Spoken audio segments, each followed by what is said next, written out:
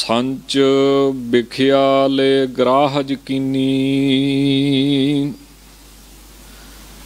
ਅੰਮ੍ਰਿਤ ਮਨ ਤੇ ਡਾਰਨ।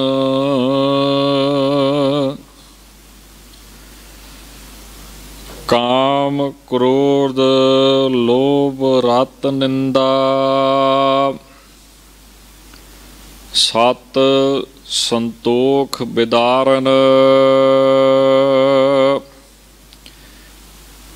ਇਨ ਤੇ ਕਾੜ ਲਿਹੋ ਮੇਰੇ ਸੁਆਮੀ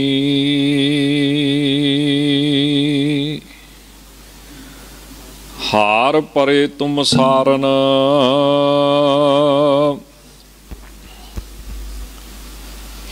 ਨਾਨਕ ਕੀ ਬੇਨੰਤੀ ਪ੍ਰਭ ਪਹਿ। ਸਾਧ ਸੰਗ ਰੰਕ ਤਾਰਣ।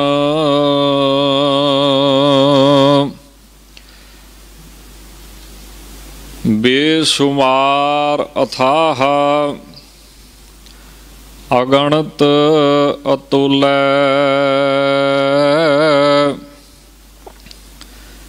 ਜਿਉ ਬੁਲਾਵੋ ਤਿਉ ਨਾਨਕ ਦਾਸ ਬੋਲੇ।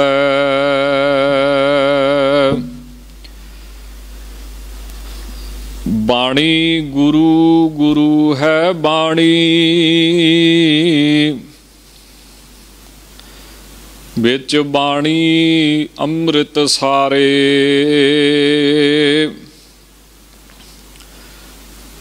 ਗੁਰਬਾਣੀ ਕਹੈ ਸੇਵਕ ਜਨ ਮਾਨੈ।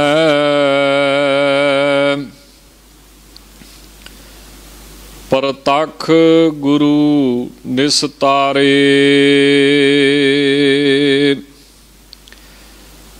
ਵਾਹਿਗੁਰੂ ਸਾਹਿਬ ਜੀਓ। ਚਰਪਟ ਛੰਦ ਤੋ ਪ੍ਰਸਾਦ ਅੰਮ੍ਰਿਤ ਕਰਮੇ। ਅੰਮ੍ਰਿਤ ਧਰਮੇ।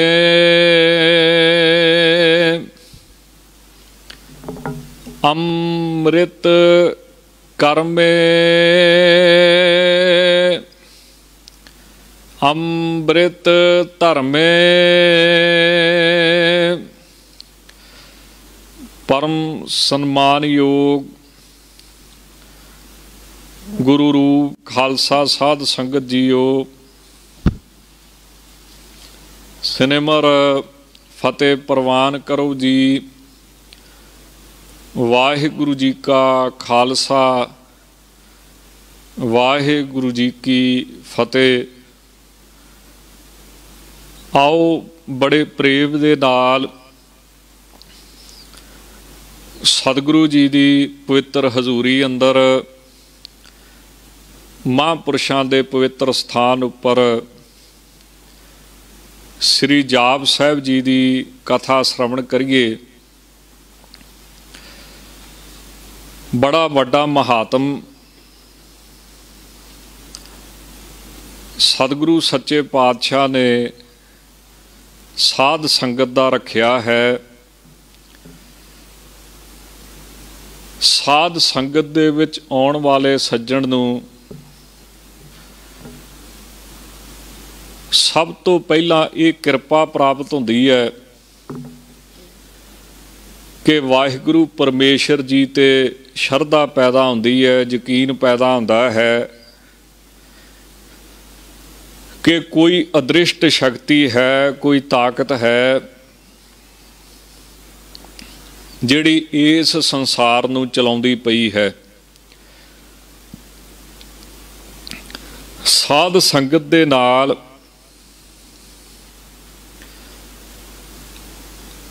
ਅਸਤਵਾ ਪਾਦਕ ਅਵਰਣ ਦੀ ਨਿਵਰਤੀ ਵਿਦਵਾਨਾਂ ਨੇ ਮੰਨੀ ਹੈ। ਅਸਤ ਦਾ ਪ੍ਰਤੀਪਾਦਨ ਵੀ ਪਰਮੇਸ਼ਰ, ਵਾਹਿਗੁਰੂ ਜਿਹੜੇ ਲੋਕ ਕਹਿੰਦੇ ਨੇ, ਅਸਤ ਭਾਵ ਨਹੀਂ ਹੈ। ਸੰਗਤ ਦੇ ਵਿੱਚ ਆਇਆ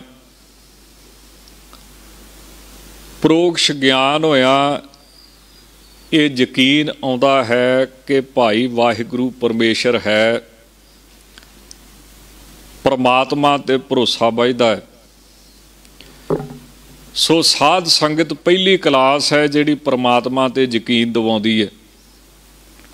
ਆਪਾਂ ਪੜ੍ਹਦੇ ਆਂ, ਸਾਧ ਸੰਗ ਜੋ ਤੁਮਹਿ ਮਲਾਇਓ, ਤਉ ਸੁਨੀ ਤੁਮਾਰੀ ਬਾਣੀ।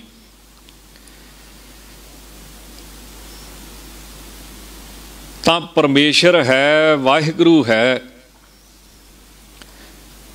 ਇਹ ਯਕੀਨ ਕਿੱਥੇ ਬਣਦਾ ਹੈ? ਇਹ ਸਾਧ ਸੰਗਤ ਵਿੱਚ ਆਉਣ ਦੇ ਨਾਲ ਇਹ ਭਾਵਨਾ, ਸ਼ਰਧਾ, ਯਕੀਨ ਬਣ ਜਾਂਦਾ ਹੈ। ਵੀ ਕੋਈ ਹੈ ਇਸ ਤੋਂ ਅੱਗੇ ਫਿਰ ਜੇ ਉਸ ਅਦ੍ਰਿਸ਼ਟ ਦੇ ਪ੍ਰਮਾਤਮਾ ਦੇ ਉਸ ਤਾਕਤ ਦੇ ਦਰਸ਼ਨ ਕਰਨੇ ਹੋਣ ਜਿਹੜੀ ਇਸ ਸੰਸਾਰ ਨੂੰ ਚਲਾਉਂਦੀ ਹੈ, ਤਾਂ ਫਿਰ ਆਪ ਸਾਧਨਾ ਕਰਨੀ ਪੈਂਦੀ ਹੈ। ਕਿਉਂ? ਧਾਰਮਿਕ ਪ੍ਰਚਾਰਕ, ਧਾਰਮਿਕ ਗ੍ਰੰਥ ਪਰਮਾਤਮਾ ਦੀ ਪਿਆਸ ਲਾਉਂਦੇ ਨੇ ਪਰ ਮਿਲਣਾ ਆਪ ਯਤਨ ਕਰਕੇ ਪੈਂਦਾ ਹੈ। ਸੱਤ ਦੀ ਪਿਆਸ ਪੈਦਾ ਕਰਦੇ ਨੇ। ਸੰਗਤ ਵਿੱਚ ਆਇਆ ਸਾਡਾ ਯਕੀਨ ਵਾਹਿਗੁਰੂ ਉੱਤੇ ਦ੍ਰਿੜ ਹੁੰਦਾ ਹੈ ਕਿ ਇਸ ਸੰਸਾਰ ਨੂੰ ਚਲਾਉਣ ਵਾਲਾ ਕੋਈ ਹੈ। ਉਦਾਹਰਣ ਦੇ ਤੌਰ ਤੇ ਜਿਵੇਂ ਕਹਿੰਦੇ ਕਾਲੀਆਂ ਕੀੜੀਆਂ 100 ਦੀ ਗਿਣਤੀ 'ਚ ਤੇ 100 ਦੀ ਗਿਣਤੀ 'ਚ ਲਾਲ ਕੀੜੀਆਂ। ਇੱਕ ਗਲਾਸ ਦੇ ਵਿੱਚ ਇਕੱਠੀਆਂ ਪਾ ਦਿੱਤੀਆਂ ਜਾਣ। ਇੱਕ ਕੱਚ ਦੇ ਵਰਤਮਾਨ ਦੇ ਵਿੱਚ ਇਕੱਠੀਆਂ ਪਾ ਦਿੱਤੀਆਂ ਜਾਣ। ਕੁਝ ਨਹੀਂ ਹੋਵੇਗਾ। ਪਰ ਜੇ ਅਸੀਂ ਉਸ ਮਰਤਬਾਨ ਨੂੰ ਕੱਚ ਦੇ ਭਾਂਡੇ ਨੂੰ ਹਲਾਈਏ, ਤਾਂ ਉਹ ਆਪਸ ਵਿੱਚ ਇੱਕ ਦੂਜੇ ਨੂੰ ਮਾਰਨਾ ਸ਼ੁਰੂ ਕਰ ਦੇਣਗੀਆਂ। ਲਾਲ ਕੀੜੀਆਂ ਸੋਚਣਗੀਆਂ ਕਿ ਕਾਲੀਆਂ ਸਾਡੀਆਂ ਦੁਸ਼ਮਣ ਨੇ ਤੇ ਕਾਲੀਆਂ ਸੋਚਣਗੀਆਂ ਕਿ ਲਾਲ ਕੀੜੀਆਂ ਸਾਡੀਆਂ ਦੁਸ਼ਮਣ ਨੇ। ਪਰ ਸਿਆਣਾ ਬੰਦਾ ਜਾਣਦਾ ਹੈ ਕਿ ਹਲਾਉਣ ਵਾਲਾ ਕੱਚ ਦੇ ਮਰਤਬਾਨ ਨੂੰ, ਕੱਚ ਦੇ ਭਾਂਡੇ ਨੂੰ ਹੋਰ ਹੈ ਕੋਈ। ਇਸੇ ਤਰ੍ਹਾਂ ਕੋਈ ਸ਼ਕਤੀ ਹੈ ਜਿਹੜੀ ਪਿੱਛੇ ਕਾਰਨ ਹੈ, ਕਾਰਜ ਹੈ। ਜਿਵੇਂ ਦੋ ਮੱਛੀਆਂ ਘਰਾਂ ਦੇ ਵਿੱਚ ਮੱਛੀਆਂ ਰੱਖੀਆਂ ਹੁੰਦੀਆਂ ਨਾ। ਰੰਗ ਬਰੰਗੀਆਂ ਲੋਕ ਬੜੇ ਪਿਆਰ ਦੇ ਨਾਲ ਰੱਖਦੇ ਨੇ। ਉਹਦੇ ਵਿੱਚ ਦੋ ਮੱਛੀਆਂ ਸੀ ਤੇ ਇੱਕ ਮੱਛੀ ਦੂਜੀ ਮੱਛੀ ਨੂੰ ਪੁੱਛਦੀ ਹੈ ਵੀ ਪਰਮਾਤਮਾ ਹੈ, ਰੱਬ ਹੈ। ਤਾਂ ਪਹਿਲੀ ਜਵਾਬ ਦਿੰਦੀ ਆ ਵੀ ਦੂਜੇ, ਤੀਜੇ ਦਿਨ ਕੋਈ ਪਾਣੀ ਬਦਲਦਾ ਸਾਡਾ। ਜਿਹਦੇ ਵਿੱਚ ਮੱਛੀਆਂ ਰੱਖੀਆਂ ਹੁੰਦੀਆਂ ਨਾ। ਤੇ ਪਾਣੀ ਕੋਈ ਬਦਲਦਾ ਹੈ ਤੇ ਪਾਣੀ ਆਪਣੇ ਆਪ ਤੇ ਬਦਲਿਆ ਨਹੀਂ ਜਾਂਦਾ। ਇਹਦਾ ਮਤਲਬ ਕੋਈ ਬਦਲਣ ਵਾਲਾ ਹੈ। ਇਹ ਛੋਟੀਆਂ-ਛੋਟੀਆਂ ਉਦਾਹਰਨਾਂ ਨੇ ਵੀ ਸਾਧ ਸੰਗਤ ਦੇ ਵਿੱਚ ਆਉਣ ਦੇ ਨਾਲ ਵਾਹਿਗੁਰੂ ਜੀ ਉੱਤੇ ਯਕੀਨ ਪੈਦਾ ਹੁੰਦਾ, ਵਾਹਿਗੁਰੂ ਦਿਖਦਾ ਨਹੀਂ। ਪਰ ਯਕੀਨ ਪੈਦਾ ਕਿੱਥੋਂ ਹੁੰਦਾ ਹੈ? ਸਾਧ ਸੰਗਤ ਵਿੱਚੋਂ ਕਿ ਪ੍ਰਮਾਤਮਾ ਹੈ, ਕੋਈ ਸ਼ਕਤੀ ਹੈ ਤੇ ਜਿਹੜਾ ਦੇਖਣਾ ਹੈ, ਉਹ ਤੇ ਫਿਰ ਅਗਾਹ ਦੀ ਗੱਲ ਹੈ, ਉਹਦੇ ਵਾਸਤੇ ਸਾਧਨ ਪੈਦਾ ਕਰਨਾ ਪੈਂਦਾ ਹੈ। ਆਪਾਂ ਜਿਵੇਂ ਰੋਜ਼ ਪੜ੍ਹਦੇ ਆਂ ਵੀ ਗੁਰੂ ਗ੍ਰੰਥ ਜੀ ਮਾਨਿਓ ਪ੍ਰਗਟ ਗੁਰਾਂ ਕੀ ਦੇ। ਉਹਦਾ ਮਤਲਬ ਕੀ ਹੈ? ਵੀ ਗੁਰੂ ਗ੍ਰੰਥ ਸਾਹਿਬ ਨੂੰ ਪ੍ਰਗਟ ਗੁਰਾਂ ਦਾ ਸਰੂਪ ਜਾਣੋ। ਇਹੀ ਮਤਲਬ ਬਣਦਾ ਨਾ ਵੀ ਗੁਰੂ ਗ੍ਰੰਥ ਸਾਹਿਬ ਜਿਉਂਦੀ, ਜਾਗਦੀ ਹਸਤੀ ਹੈ। ਜਿਵੇਂ ਦੁਕਾਨ ਤੇ ਇੱਕ ਬੱਚਾ ਵੀ ਛੋਟਾ ਜਿਹਾ ਬੈਠਾ ਹੋਵੇ ਤੇ ਚੋਰੀ ਕਰਨ ਵਾਲਾ ਡਰਦਾ ਹੈ ਵੀ ਕੋਈ ਬੈਠਾ ਹੈ। ਹਾਲਾਂਕਿ ਉਹ ਬੱਚਾ ਹੀ ਹੈ। ਦੁਕਾਨਦਾਰ ਕਈ ਵਾਰੀ ਆਪਦਾ ਬੱਚਾ ਹੀ ਬਾ ਜਾਂਦੇ। ਇਸ ਤਰ੍ਹਾਂ ਮੰਨਣਾ ਕਿ ਗੁਰੂ ਗ੍ਰੰਥ ਸਾਹਿਬ ਜਿਉਂਦੀ ਜਾਗਦੀ ਹਸਤੀ ਹੈ ਤੇ ਇਹਦੇ ਵਿੱਚ ਰੱਬ ਬੈਠਾ ਹੈ। ਜਿਵੇਂ ਦੁਕਾਨ ਤੇ ਬੱਚਾ ਵੀ ਬੈਠਾ ਹੋਵੇ ਤੇ ਚੋਰ ਚੋਰੀ ਤੋਂ ਡਰਦਾ ਹੈ। ਵੀ ਕੋਈ ਹੈ ਇਸੇ ਤਰ੍ਹਾਂ ਸਾਧ ਸੰਗਤ ਦੇ ਵਿੱਚ ਪਹਿਲਾ ਗਿਆਨ ਕੀ ਹੁੰਦਾ? ਪ੍ਰੋਗਸ਼ ਗਿਆਨ ਵੀ ਪ੍ਰਮਾਤਮਾ ਹੈ, ਅਜੇ ਦਿਖਿਆ ਨਹੀਂ, ਬਸ ਇਹੀ ਯਕੀਨ ਪੈਦਾ ਹੁੰਦਾ ਵੀ ਹੈ। ਇਸ ਕਰਕੇ ਸਾਧ ਸੰਗਤ ਦੀ ਮਹਾਨਤਾ ਗੁਰਬਾਣੀ ਨੇ ਬੜੀ ਵੱਡੀ ਮੰਨੀ ਹੈ। ਸਤਿਗੁਰੂ ਜੀ ਫਰਮਾਉਂਦੇ ਨੇ ਵਿੱਚ, ਸੰਗਤ ਹਰ ਪ੍ਰਭ ਵਸੈ ਜੀਓ। ਜਾਂ ਸਤਿਗੁਰੂ ਜੀ ਕਿਰਪਾ ਕਰਦੇ ਹੋਏ ਕਹਿੰਦੇ ਨੇ, ਮੇਰੇ ਮਾਧੋ ਜੀ, ਸਤ ਸੰਗਤ ਮਿਲੈ ਸੋ ਤਰਿਆ। ਗੁਰ ਪ੍ਰਸਾਦ ਪਰਮ ਪਦ ਪਾਇਆ, ਸੂਕੇ ਕਾਸ਼ਟ ਹਰਿਆ।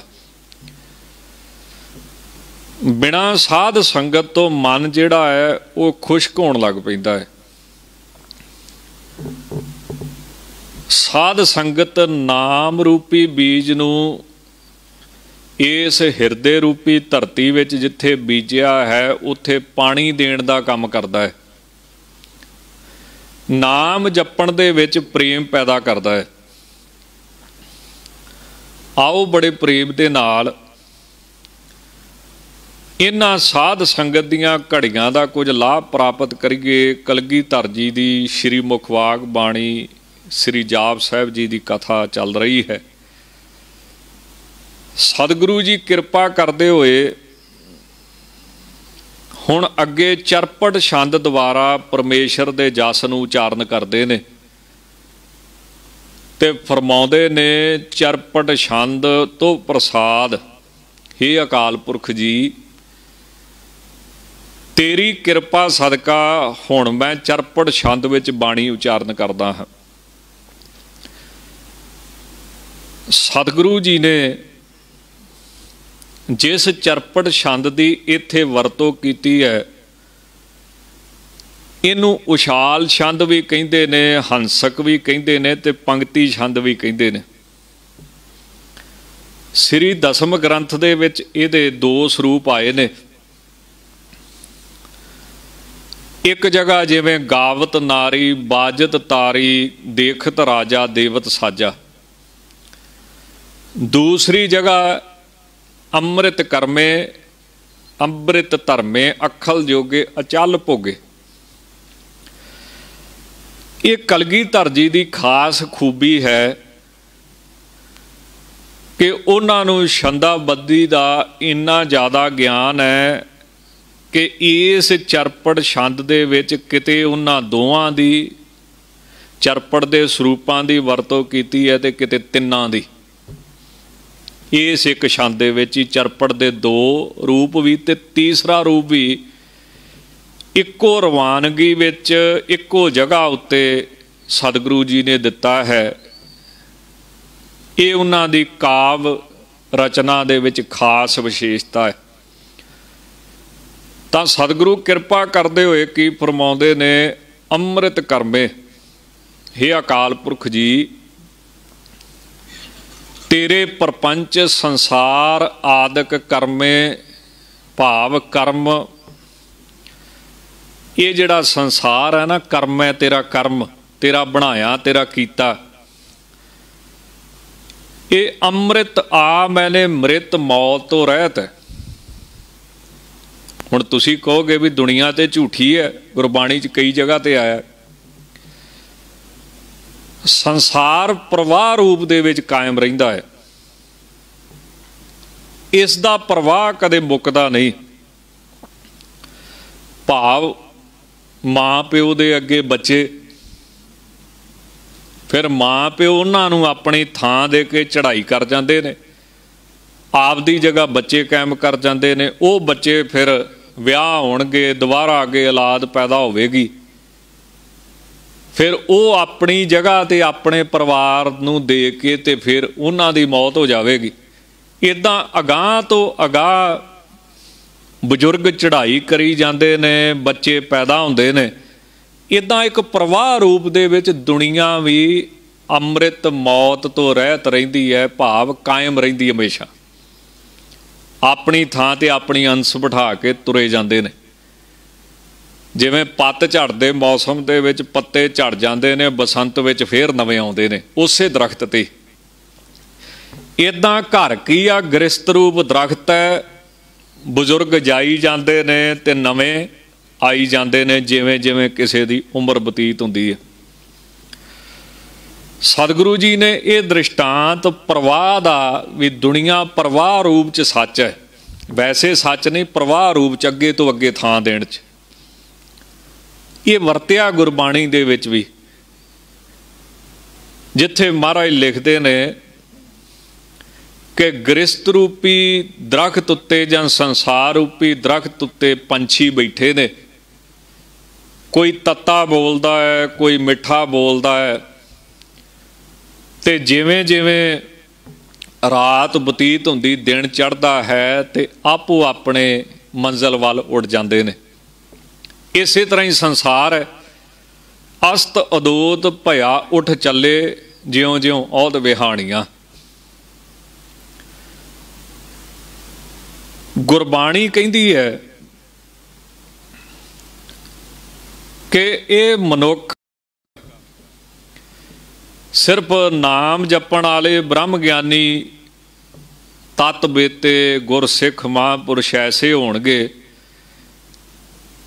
ਜਿਹੜੇ ਇਸ ਪ੍ਰਵਾਹ ਵਿੱਚੋਂ, ਸੰਸਾਰ ਦੇ ਪ੍ਰਵਾਹ ਵਿੱਚੋਂ ਬਾਹਰ ਨਿਕਲਣਗੇ, ਜਿਵੇਂ ਸਤਿਗੁਰੂ ਜੀ ਕਹਿੰਦੇ, ਇਹੋ ਸੰਸਾਰ ਵਿਕਾਰ ਸੰਸੇ ਮਹਿ ਤਰਿਓ ਬ੍ਰਹਮ ਗਿਆਨੀ। ਬਾਕੀ ਇਹ ਪ੍ਰਵਾਹ ਚੱਲਦਾ ਰਹੇਗਾ। ਤਾਂ ਪ੍ਰਵਾਹ ਰੂਪ ਦੇ ਵਿੱਚ ਦੁਨੀਆ ਵੀ, ਸੰਸਾਰ ਵੀ ਚੱਲਦਾ ਰਹਿੰਦਾ, ਇਸ ਕਰਕੇ ਮਹਾਰਾਜ ਕਹਿੰਦੇ, ਅੰਮ੍ਰਿਤ ਕਰਮ। ਹੈ ਵੀ हे ਵਾਹਿਗੁਰੂ, ਇਹ ਜਿਹੜਾ ਤੇਰਾ ਸੰਸਾਰ ਕਰਮ ਆ, ਜਿਹੜਾ ਤੇਰਾ ਕਰਮ ਮੈਨੇ ਕੀਤਾ ਹੋਇਆ, ਬਣਾਇਆ ਹੋਇਆ ਸੰਸਾਰ ਹੈ, ਇਹ ਵੀ ਅੰਮ੍ਰਿਤ ਹੀ ਹੈ। ਪ੍ਰਵਾਹ ਰੂਪ ਦੇ ਵਿੱਚ ਇਹ ਵੀ ਅਮਰ ਰਹਿੰਦਾ ਹੈ।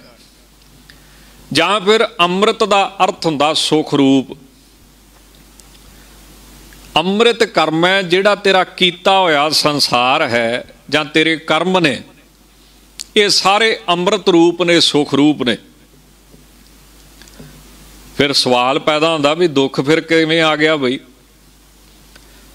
ਜੇ ਵਾਹਿਗੁਰੂ ਦਾ ਕੀਤਾ ਹੋਇਆ ਸਭ ਕੁਝ ਸੁਖ ਰੂਪ ਹੀ ਹੈ, ਫਿਰ ਦੁੱਖ ਕਿੱਥੋਂ ਆਇਆ? ਤਾਂ ਮਹਾਂਪੁਰਸ਼ ਵਿਦਵਾਨ ਲੋਕ, ਸੰਤ ਲੋਕ ਜਿਵੇਂ ਜਿਵੇਂ ਉਹਨਾਂ ਦੀ ਬੁੱਧੀ ਸੂਖਸ਼ਮ ਹੁੰਦੀ ਹੈ, ਕਿਸੇ ਦੀ ਨਾਮ ਜਪਣ ਕਰਕੇ, ਕਿਸੇ ਦੀ ਵਿਦਿਆ ਕਰਕੇ ਕਿਸੇ ਦੀ ਸੇਵਾ ਕਰਕੇ, ਸੁਚਮ ਕਰਕੇ, ਸੰਗਤ ਕਰਕੇ ਤਾਂ ਗੱਲ ਹੁੰਦੀ ਤੇ ਉਹੀ ਹੈ, ਪਰ ਕਹਿਣ 'ਚ ਫ਼ਰਕ ਆ ਜਾਂਦਾ ਹੈ। ਤੇ ਉਹਦੇ ਨਾਲ ਫਿਰ ਸੁਣਨ ਦੇ ਵਿੱਚ ਵੀ, ਸਮਝਣ ਦੇ ਵਿੱਚ ਵੀ ਰਸ ਤੇ ਸਵਾਦ ਰਹਿੰਦਾ ਹੈ। ਇੱਕ ਮਹਾਤਮਾ ਨੇ ਬੜਾ ਸੋਹਣਾ ਲਿਖਿਆ ਹੈ,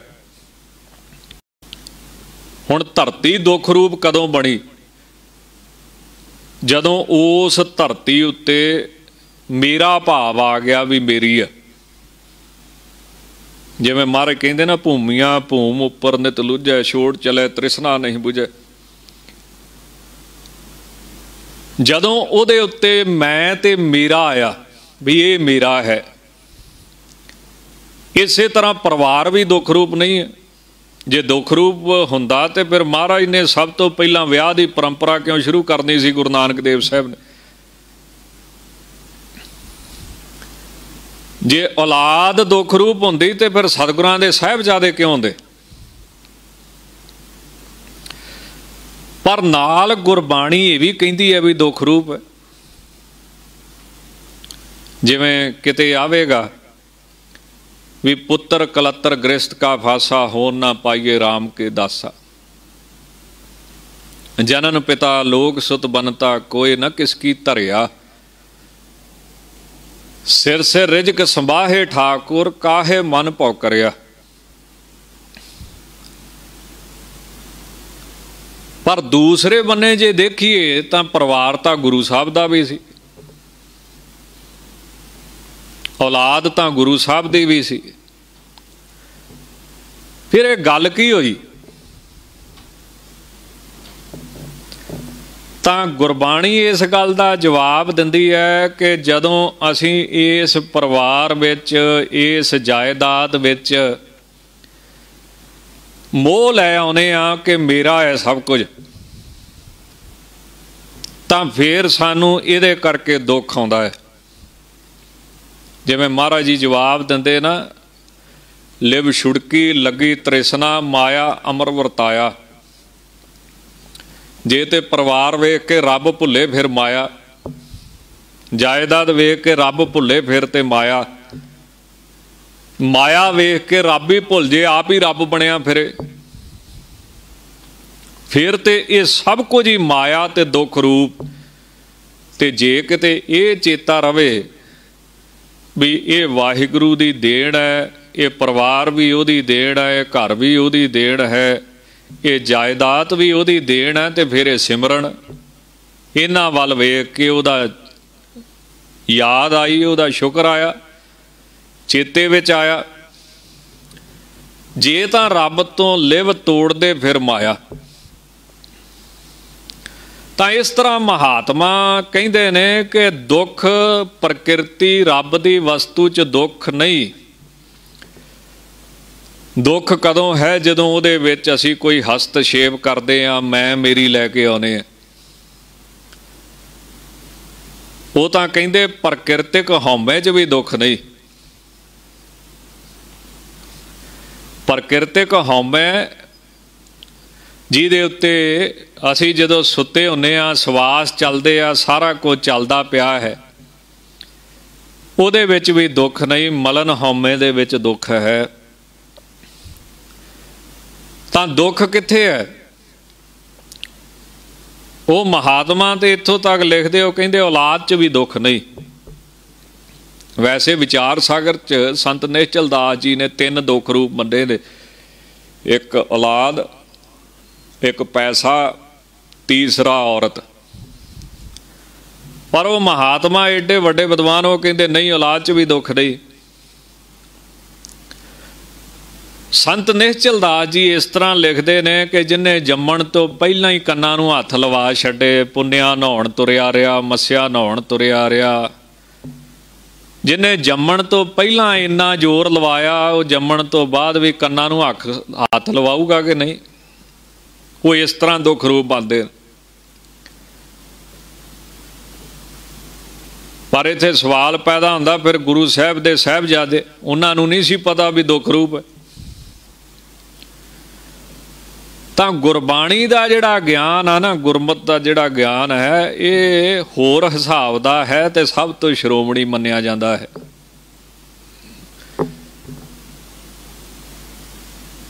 ਤਾਂ ਸਤਿਗੁਰੂ ਜੀ ਨੇ ਕੀ ਜਵਾਬ ਦਿੱਤਾ ਸੀ? ਦਸਵੇਂ ਪਾਤਸ਼ਾਹ ਨੇ, ਤੇਰਾ ਤੁਝ ਕੋ ਸੌਂਪ ਤੇ ਕਿਆ ਲਾਗੇ ਮੇਰਾ? ਜਾਇਨ ਪੁੱਤਰਨ ਕੇ ਸੀਸ ਪਰ ਵਾਰ ਦਿਏ, ਸੁਤ ਚਾਰ ਚਾਰ ਮੂਏ ਤੋਂ ਕਿਆ ਹੁਆ ਜੀਵਤ ਲੱਖ ਹਜ਼ਾਰ?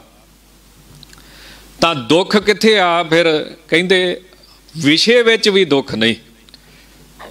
ਸ਼ਬਦ ਸਪਰਸ਼ ਰੂਪ ਰਸ ਗੰਧ। ਹੈ ਸ਼ਬਦ ਚੰਗੇ ਬੋਲ ਲੋ ਚੰਗਾ ਸੁਣ ਲੋ ਰਸ ਸੇਵਾ ਸਿਮਰਤ ਗੁਰਬਾਣੀ ਦਾ ਲੈ ਲਓ। ਕੰਨਾਂ ਦੇ ਨਾਲ ਬਾਣੀ ਸੁਣ ਲਓ। ਸੰਗਤ ਦੀ ਸੇਵਾ ਕਰਨੀ ਤਾਂ ਦੁੱਖ ਕਿੱਥੇ ਹੈ? ਫਿਰ ਉਹ ਕਹਿੰਦੇ ਨੇ, ਦੁੱਖ ਹੈ ਅਵਿਦਿਆ 'ਚ। ਬੇਸਮਝੀ ਬੇਸਮਝੀ ਕੀ ਵੀ ਸਭ ਕੁਝ ਮੇਰਾ ਵਾ। ਤੇ ਜਿਹੜਾ ਮੇਰਾ ਹੁੰਦਾ ਹੈ, ਉਹ ਫਿਰ ਆਪਣੇ ਤੋਂ ਵੱਖ ਨਹੀਂ ਹੁੰਦਾ। ਤੇ ਜਿਹੜਾ ਮੇਰਾ ਨਹੀਂ ਹੈ, ਉਹ ਛੱਡਣਾ ਪੈਣਾ ਹੈ।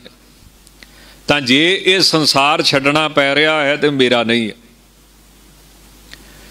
ਤਾਂ ਦੁੱਖ ਕਿੱਥੇ ਮੰਨਿਆ? ਅਵਿਦਿਆ ਚ ਬੇਸਮਝੀ ਚ ਮਨਮੁਖ ਪੁਣੇ ਚ ਜਿਤਨੇ ਨਰਕ ਸੇ ਮਨਮੁਖ ਭੋਗੇ ਗੁਰਮੁਖ ਲੇਪ ਨਾ ਮਾਸਾ ਹੈ। ਤਾਂ ਇਸ ਕਰਕੇ ਮਹਾਰਾਜ ਕਲਗੀ ਧਰ ਕੀ ਕਹਿੰਦੇ ਹਨ, ਅੰਮ੍ਰਿਤ ਕਰਮ ਹੈ। ਅਕਾਲ ਪੁਰਖ ਜੀ, ਜਿੰਨੇ ਵੀ ਆਪ ਜੀ ਦੇ ਕਰਮ ਨੇ ਕੀਤਾ ਹੋਇਆ ਸੰਸਾਰ ਹੈ, ਜਾਂ ਸਾਰੇ ਆਪ ਜੀ ਦੇ ਕਰਮ ਨੇ, ਸਾਰੇ ਅੰਮ੍ਰਿਤ ਰੂਪ ਨੇ, ਸੁਖ ਸੁਖ ਦੇਣ ਵਾਲੇ ਹਨ। ਮਨੁੱਖ ਨੂੰ ਆਪਣੀ ਬੇਸਮਝੀ, ਅਵਿਦਿਆ ਕਰਕੇ, ਅਗਿਆਨਤਾ ਕਰਕੇ, ਮਨਮੁਖਤਾ ਕਰਕੇ, ਮੈਂ ਮੇਰੀ ਲਿਆਉਣ ਕਰਕੇ ਦੁੱਖ ਪ੍ਰਾਪਤ ਹੁੰਦਾ ਹੈ। ਜਾਂ ਫਿਰ ਅੰਮ੍ਰਿਤ ਕਰਮ ਜਿੰਨੇ ਵੀ ਆਪ ਜੀ ਨੇ ਅਵਤਾਰ ਧਾਰ ਕੇ ਕਰਮ ਸ਼ੁਭ ਕੌਤਕ ਕੀਤੇ ਨੇ, ਇਹ ਸਾਰੇ ਅੰਮ੍ਰਿਤ ਮ੍ਰਿਤਿਉ ਤੋਂ ਰਹਿਤ ਕਰ ਦੇਣ ਵਾਲੇ ਨੇ। ਪਰਮੇਸ਼ਰ ਦੇ ਨਾਮ ਸ੍ਰੀ ਗੁਰੂ ਨਾਨਕ ਦੇਵ ਸਾਹਿਬ ਜੀ ਨੇ ਜਿਹੜੇ ਅਵਤਾਰ ਧਾਰ ਕੇ ਕਰਮ ਕੀਤੇ ਨੇ, ਦਸਾਂ ਪਾਤਸ਼ਾਹੀਆਂ ਕਰਮ ਕੀਤੇ ਨੇ, ਜੇ ਉਹਨਾਂ ਨੂੰ ਕਥਾ ਰਾਹੀਂ ਸੁਣੀਏ, ਪੜ੍ਹੀਏ, ਵਿਚਾਰੀਏ, ਤਾਂ ਅੰਮ੍ਰਿਤ ਮੌਤ ਤੋਂ ਉਹ ਰਹਿਤ ਕਰ ਦਿੰਦੇ ਹਨ। ਇਸੇ ਕਰਕੇ ਆਖਿਆ, ਸਭ ਤੇ ਊਤਮ ਹਰ ਕੀ ਕਥਾ, ਨਾਮ, ਸੁਨਤ, ਦਰਦ, ਦੁੱਖ, ਲੱਥਾ। ਤਾਂ ਸਤਿਗੁਰੂ ਕਿਰਪਾ ਕਰਦੇ ਹੋਏ ਫਰਮਾਉਂਦੇ ਹਨ, ਅੰਮ੍ਰਿਤ ਧਰਮੈ ਅੰਮ੍ਰਿਤ ਧਰਮੈ ਸ਼ਬਦ ਹੈ ਆਵ੍ਰਿਤ। ਗੁਰਮੁਖੀ ਚ ਮਹਾਰਾਜ ਨੇ ਲਿਖਿਆ ਅੰਮ੍ਰਿਤ। ਬੱਬੇ ਦੇ ਨਾਲ, ਸੰਸਕ੍ਰਿਤ ਦਾ ਸ਼ਬਦ ਹੈ ਆਵ੍ਰਿਤ ਵਾਵੇ ਦੇ ਨਾਲ। ਜਿਹਦਾ ਅਰਥ ਹੈ ਇੱਕ ਰਸ ਅਖੰਡ। ਇਹ ਅਕਾਲ ਪੁਰਖ ਜੀ, ਆਪ ਅੰਮ੍ਰਿਤ ਧਰਮ ਹੈ ਅਖੰਡ ਧਰਮ ਵਾਲੇ ਹੋ। ਇੱਕ ਰਸ ਅਖੰਡ ਸਰੂਪ ਰਹਿੰਦਾ ਹੈ ਆਪ ਜੀ ਦਾ। ਕਿਸੇ ਤਰ੍ਹਾਂ ਵੀ ਵਧਣ ਵਾਲੇ ਨਹੀਂ, ਕਿਸੇ ਤਰ੍ਹਾਂ ਵੀ ਘਟਣ ਵਾਲੇ ਨਹੀਂ। ਜਿਵੇਂ ਕਲਗੀ ਧਰਜੀ ਅਕਾਲ ਉਸਤਾਦ ਲਿਖਦੇ ਨੇ ਨਾ, ਜਿਵੇਂ ਜਮਾਨ ਕੇ ਵਿਖੇ ਸਮਸਤ ਇੱਕ ਜੋਤ ਹੈ। ਨਾ ਘਾਟ ਹੈ, ਨਾ ਬਾੜ ਹੈ, ਨਾ ਘਾਟ ਬਾੜ ਹੋਤ ਹੈ। ਜਾਂ ਫਿਰ ਅੰਮ੍ਰਿਤ ਦਾ ਅਰਥ ਹੁੰਦਾ ਹੈ, ਘਿਰਿਆ ਹੋਇਆ। ਵੇਸ਼ਟਤ ਜਿਹਨੂੰ ਕਹਿ ਦਿੰਦੇ, ਘਿਰਿਆ ਹੋਇਆ। ਅੰਮ੍ਰਿਤ ਕਰ ਧਰਮੇ। हे ਅਕਾਲ ਪੁਰਖ, ਵਾਹਿਗੁਰੂ ਜੀ, ਤੁਸੀਂ ਧਰਮੇ ਧਰਮਾਂ ਕਰਕੇ ਅੰਮ੍ਰਿਤ ਆਵ੍ਰਿਤ ਹੋ, ਘਿਰੇ ਹੋਏ ਹੋ। ਸਾਰੇ ਧਰਮ ਜਿਹੜੇ ਨੇ, ਉਹਨਾਂ ਦਾ ਲਕਸ਼ ਤੁਸੀਂ ਹੋ। ਵਾਹਿਗੁਰੂ ਨੇ ਜਿੱਥੇ ਜਿਹਨੂੰ ਜਨਮ ਦਿੱਤਾ ਹੈ ਉਹ ਉਸ ਧਰਮ ਅਨਸਾਰ ਜੇ ਸਾਧਨਾ ਕਰੇ, ਕਰਮ ਕਰੇ, ਆਪਣੇ ਧਰਮ ਦੇ ਤਾਂ ਆਪ ਜੀ ਦੀ ਪ੍ਰਾਪਤੀ ਹੁੰਦੀ, ਕਿਉਂਕਿ ਧਰਮ ਇੱਕ ਆਪ ਜੀ ਦੇ ਦੁਆਲੇ ਹੀ ਆਵਰਿਤ ਘਿਰੇ ਹੋਏ ਨੇ। ਇਸ ਕਰਕੇ ਗੁਰਬਾਣੀ ਨੇ ਕੋਈ ਭੇਦਭਾਵ ਨਹੀਂ ਰੱਖਿਆ। ਗੁਰਬਾਣੀ ਦੇ ਵਿੱਚ ਤਾਂ ਸਪਸ਼ਟ ਲਿਖਿਆ, ਭਾਵੇਂ ਕੋਈ ਹਿੰਦੂ ਹੈ, ਭਾਵੇਂ ਕੋਈ ਮੁਸਲਮਾਨ ਹੈ ਜੇ ਆਪਣੇ ਧਰਮਾਂ ਅਨੁਸਾਰ ਉਹ ਜ਼ਿੰਦਗੀ ਬਤੀਤ ਕਰਦਾ ਹੈ ਤੇ ਉਹਦਾ ਲਕਸ਼ ਜਿਹੜਾ ਵਾਹਿਗੁਰੂ ਹੈ, ਉਹਦੀ ਉਹਨੂੰ ਪ੍ਰਾਪਤੀ ਹੋਵੇਗੀ। ਕਰਤਾ ਕਰੀਮ ਸੋਈ, ਰਾਜ ਕਰਹੀਮ ਹੋਈ, ਦੂਸਰੋ ਨਾ ਭੇਦ ਕੋਈ ਭੂਲ ਭ੍ਰਮ ਮਾਨਬੋ ਜਾਂ ਸਤਿਗੁਰੂ ਜੀ, ਸ੍ਰੀ ਗੁਰੂ ਗ੍ਰੰਥ ਸਾਹਿਬ 'ਚ ਵੀ ਇਸੇ ਭਾਵ ਵਾਲਾ ਸ਼ਬਦ ਰੱਖਦੇ ਨੇ, ਕੋਈ ਬੋਲੇ RAM RAM ਕੋਈ ਖੁਦਾਏ। ਤਾਂ ਆਵਰਿਤ ਧਰਮ ਹੈ। ਧਰਮਾਂ ਨੇ ਆਵਰਿਤ ਘੇਰਿਆ ਹੋਇਆ ਹੈ ਭਾਵ, ਸਾਰੇ ਧਰਮ ਵਾਹਿਗੁਰੂ ਦੇ ਆਲੇ ਦੁਆਲੇ ਹੀ ਘੁੰਮਦੇ ਦੇ ਸਾਰਿਆਂ ਦਾ ਲਕਸ਼ ਇੱਕ ਵਾਹਿਗੁਰੂ ਪਰਮੇਸ਼ਰ ਹੀ ਹੁੰਦਾ ਹੈ। ਅੰਮ੍ਰਿਤ ਧਰਮ ਹੁਣ ਬੱਬੇ ਦੇ ਨਾਲ ਮਹਾਰਾਜ ਨੇ ਪਾਇਆ ਹੈ ਸ਼ਬਦ ਬ੍ਰਿਤ। ਤਾਂ ਬ੍ਰਿਤ ਦਾ ਅਰਥ ਕੀ ਹੋਇਆ? ਬਿਰਤੀ। ਬਿਰਤੀ ਕੀ ਹੁੰਦੀ ਹੈ? ਮਨ ਦੇ ਫੁਰਨੇ ਕਹਿ ਲੋ ਮਨ ਦੀਆਂ ਦਲੀਲਾਂ ਕਹਿ ਲੋ ਮਨ ਦੇ ਸੰਕਲਪ ਵਿਕਲਪ ਕਹਿ ਲੋ ਤਾਂ ਵਾਹਿਗੁਰੂ ਪਰਮੇਸ਼ਰ, ਭਗਤ ਵਛਲ ਵਾਹਿਗੁਰੂ, ਇਹ ਮਨ ਦੀਆਂ ਬਿਰਤੀਆਂ ਦੇ ਨਾਲ ਨਹੀਂ ਜਾਣਿਆ ਜਾਂਦਾ। ਜਿਵੇਂ ਕਦੀ ਕਾਮ ਦੀ ਬਿਰਤੀ ਪੈਦਾ ਹੋ ਜਾਂਦੀ ਹੈ। ਕਾਮ ਦਾ ਖਿਆਲ ਪੈਦਾ ਹੋ ਜਾਂਦਾ ਹੈ, ਕਾਮ ਦਾ ਧਿਆਨ ਪੈਦਾ ਹੋ ਜਾਂਦਾ ਹੈ। ਇਹ ਸਾਰੀਆਂ ਬਿਰਤੀਆਂ ਨੇ। ਕਦੀ ਲੋਭ ਦੀ ਬਿਰਤੀ ਆ ਜਾਂਦੀ ਹੈ, ਕਦੀ ਮੋਹ ਦੀ ਬਿਰਤੀ ਆ ਜਾਂਦੀ ਹੈ, ਕਦੀ ਤਿਆਗ ਦੀ ਬਿਰਤੀ ਆ ਜਾਂਦੀ ਹੈ, ਕਦੀ ਵਿਰਾਗ ਦੀ ਬਿਰਤੀ ਆ ਜਾਂਦੀ ਹੈ। ਕਬਹੂ ਜੀੜਾ ਊਬ ਚੜਤ ਹੈ, ਕਬਹੂ ਜਾਏ ਪਿਆਲੇ। ਤਾਂ ਇਹ ਮਨ ਦੇ ਵਿੱਚ ਅੱਡ-ਅੱਡ ਖਿਆਲ ਚੱਲਦੇ ਰਹਿੰਦੇ ਨੇ, ਬਿਰਤੀਆਂ ਚੱਲਦੀਆਂ ਰਹਿੰਦੀਆਂ ਨੇ। ਇਹ ਬਿਰਤੀਆਂ ਦਾ ਸੰਖੇਪ ਜਿਹਾ ਤੇ ਸੌਖਾ ਜਿਹਾ ਅਰਥ ਹੈ। ਬਾਕੀ ਧਾਰਮਿਕ ਗ੍ਰੰਥਾਂ 'ਚ ਤੇ ਬਿਰਤੀਆਂ ਦੇ ਬੜੀ ਡੂੰਘੀ ਵਿਆਖਿਆ ਕੀਤੀ ਗਈ ਹੈ। ਈਸ਼ਵਰ ਪਰਮੇਸ਼ਰ ਵਾਹਿਗੁਰੂ ਜਿਹੜਾ ਹੈ, ਅੰਮ੍ਰਿਤ ਮੈਨੇ ਬਿਰਤੀਆਂ ਦੀ ਪਕੜ ਤੋਂ ਰਹਿਤ ਹੈ।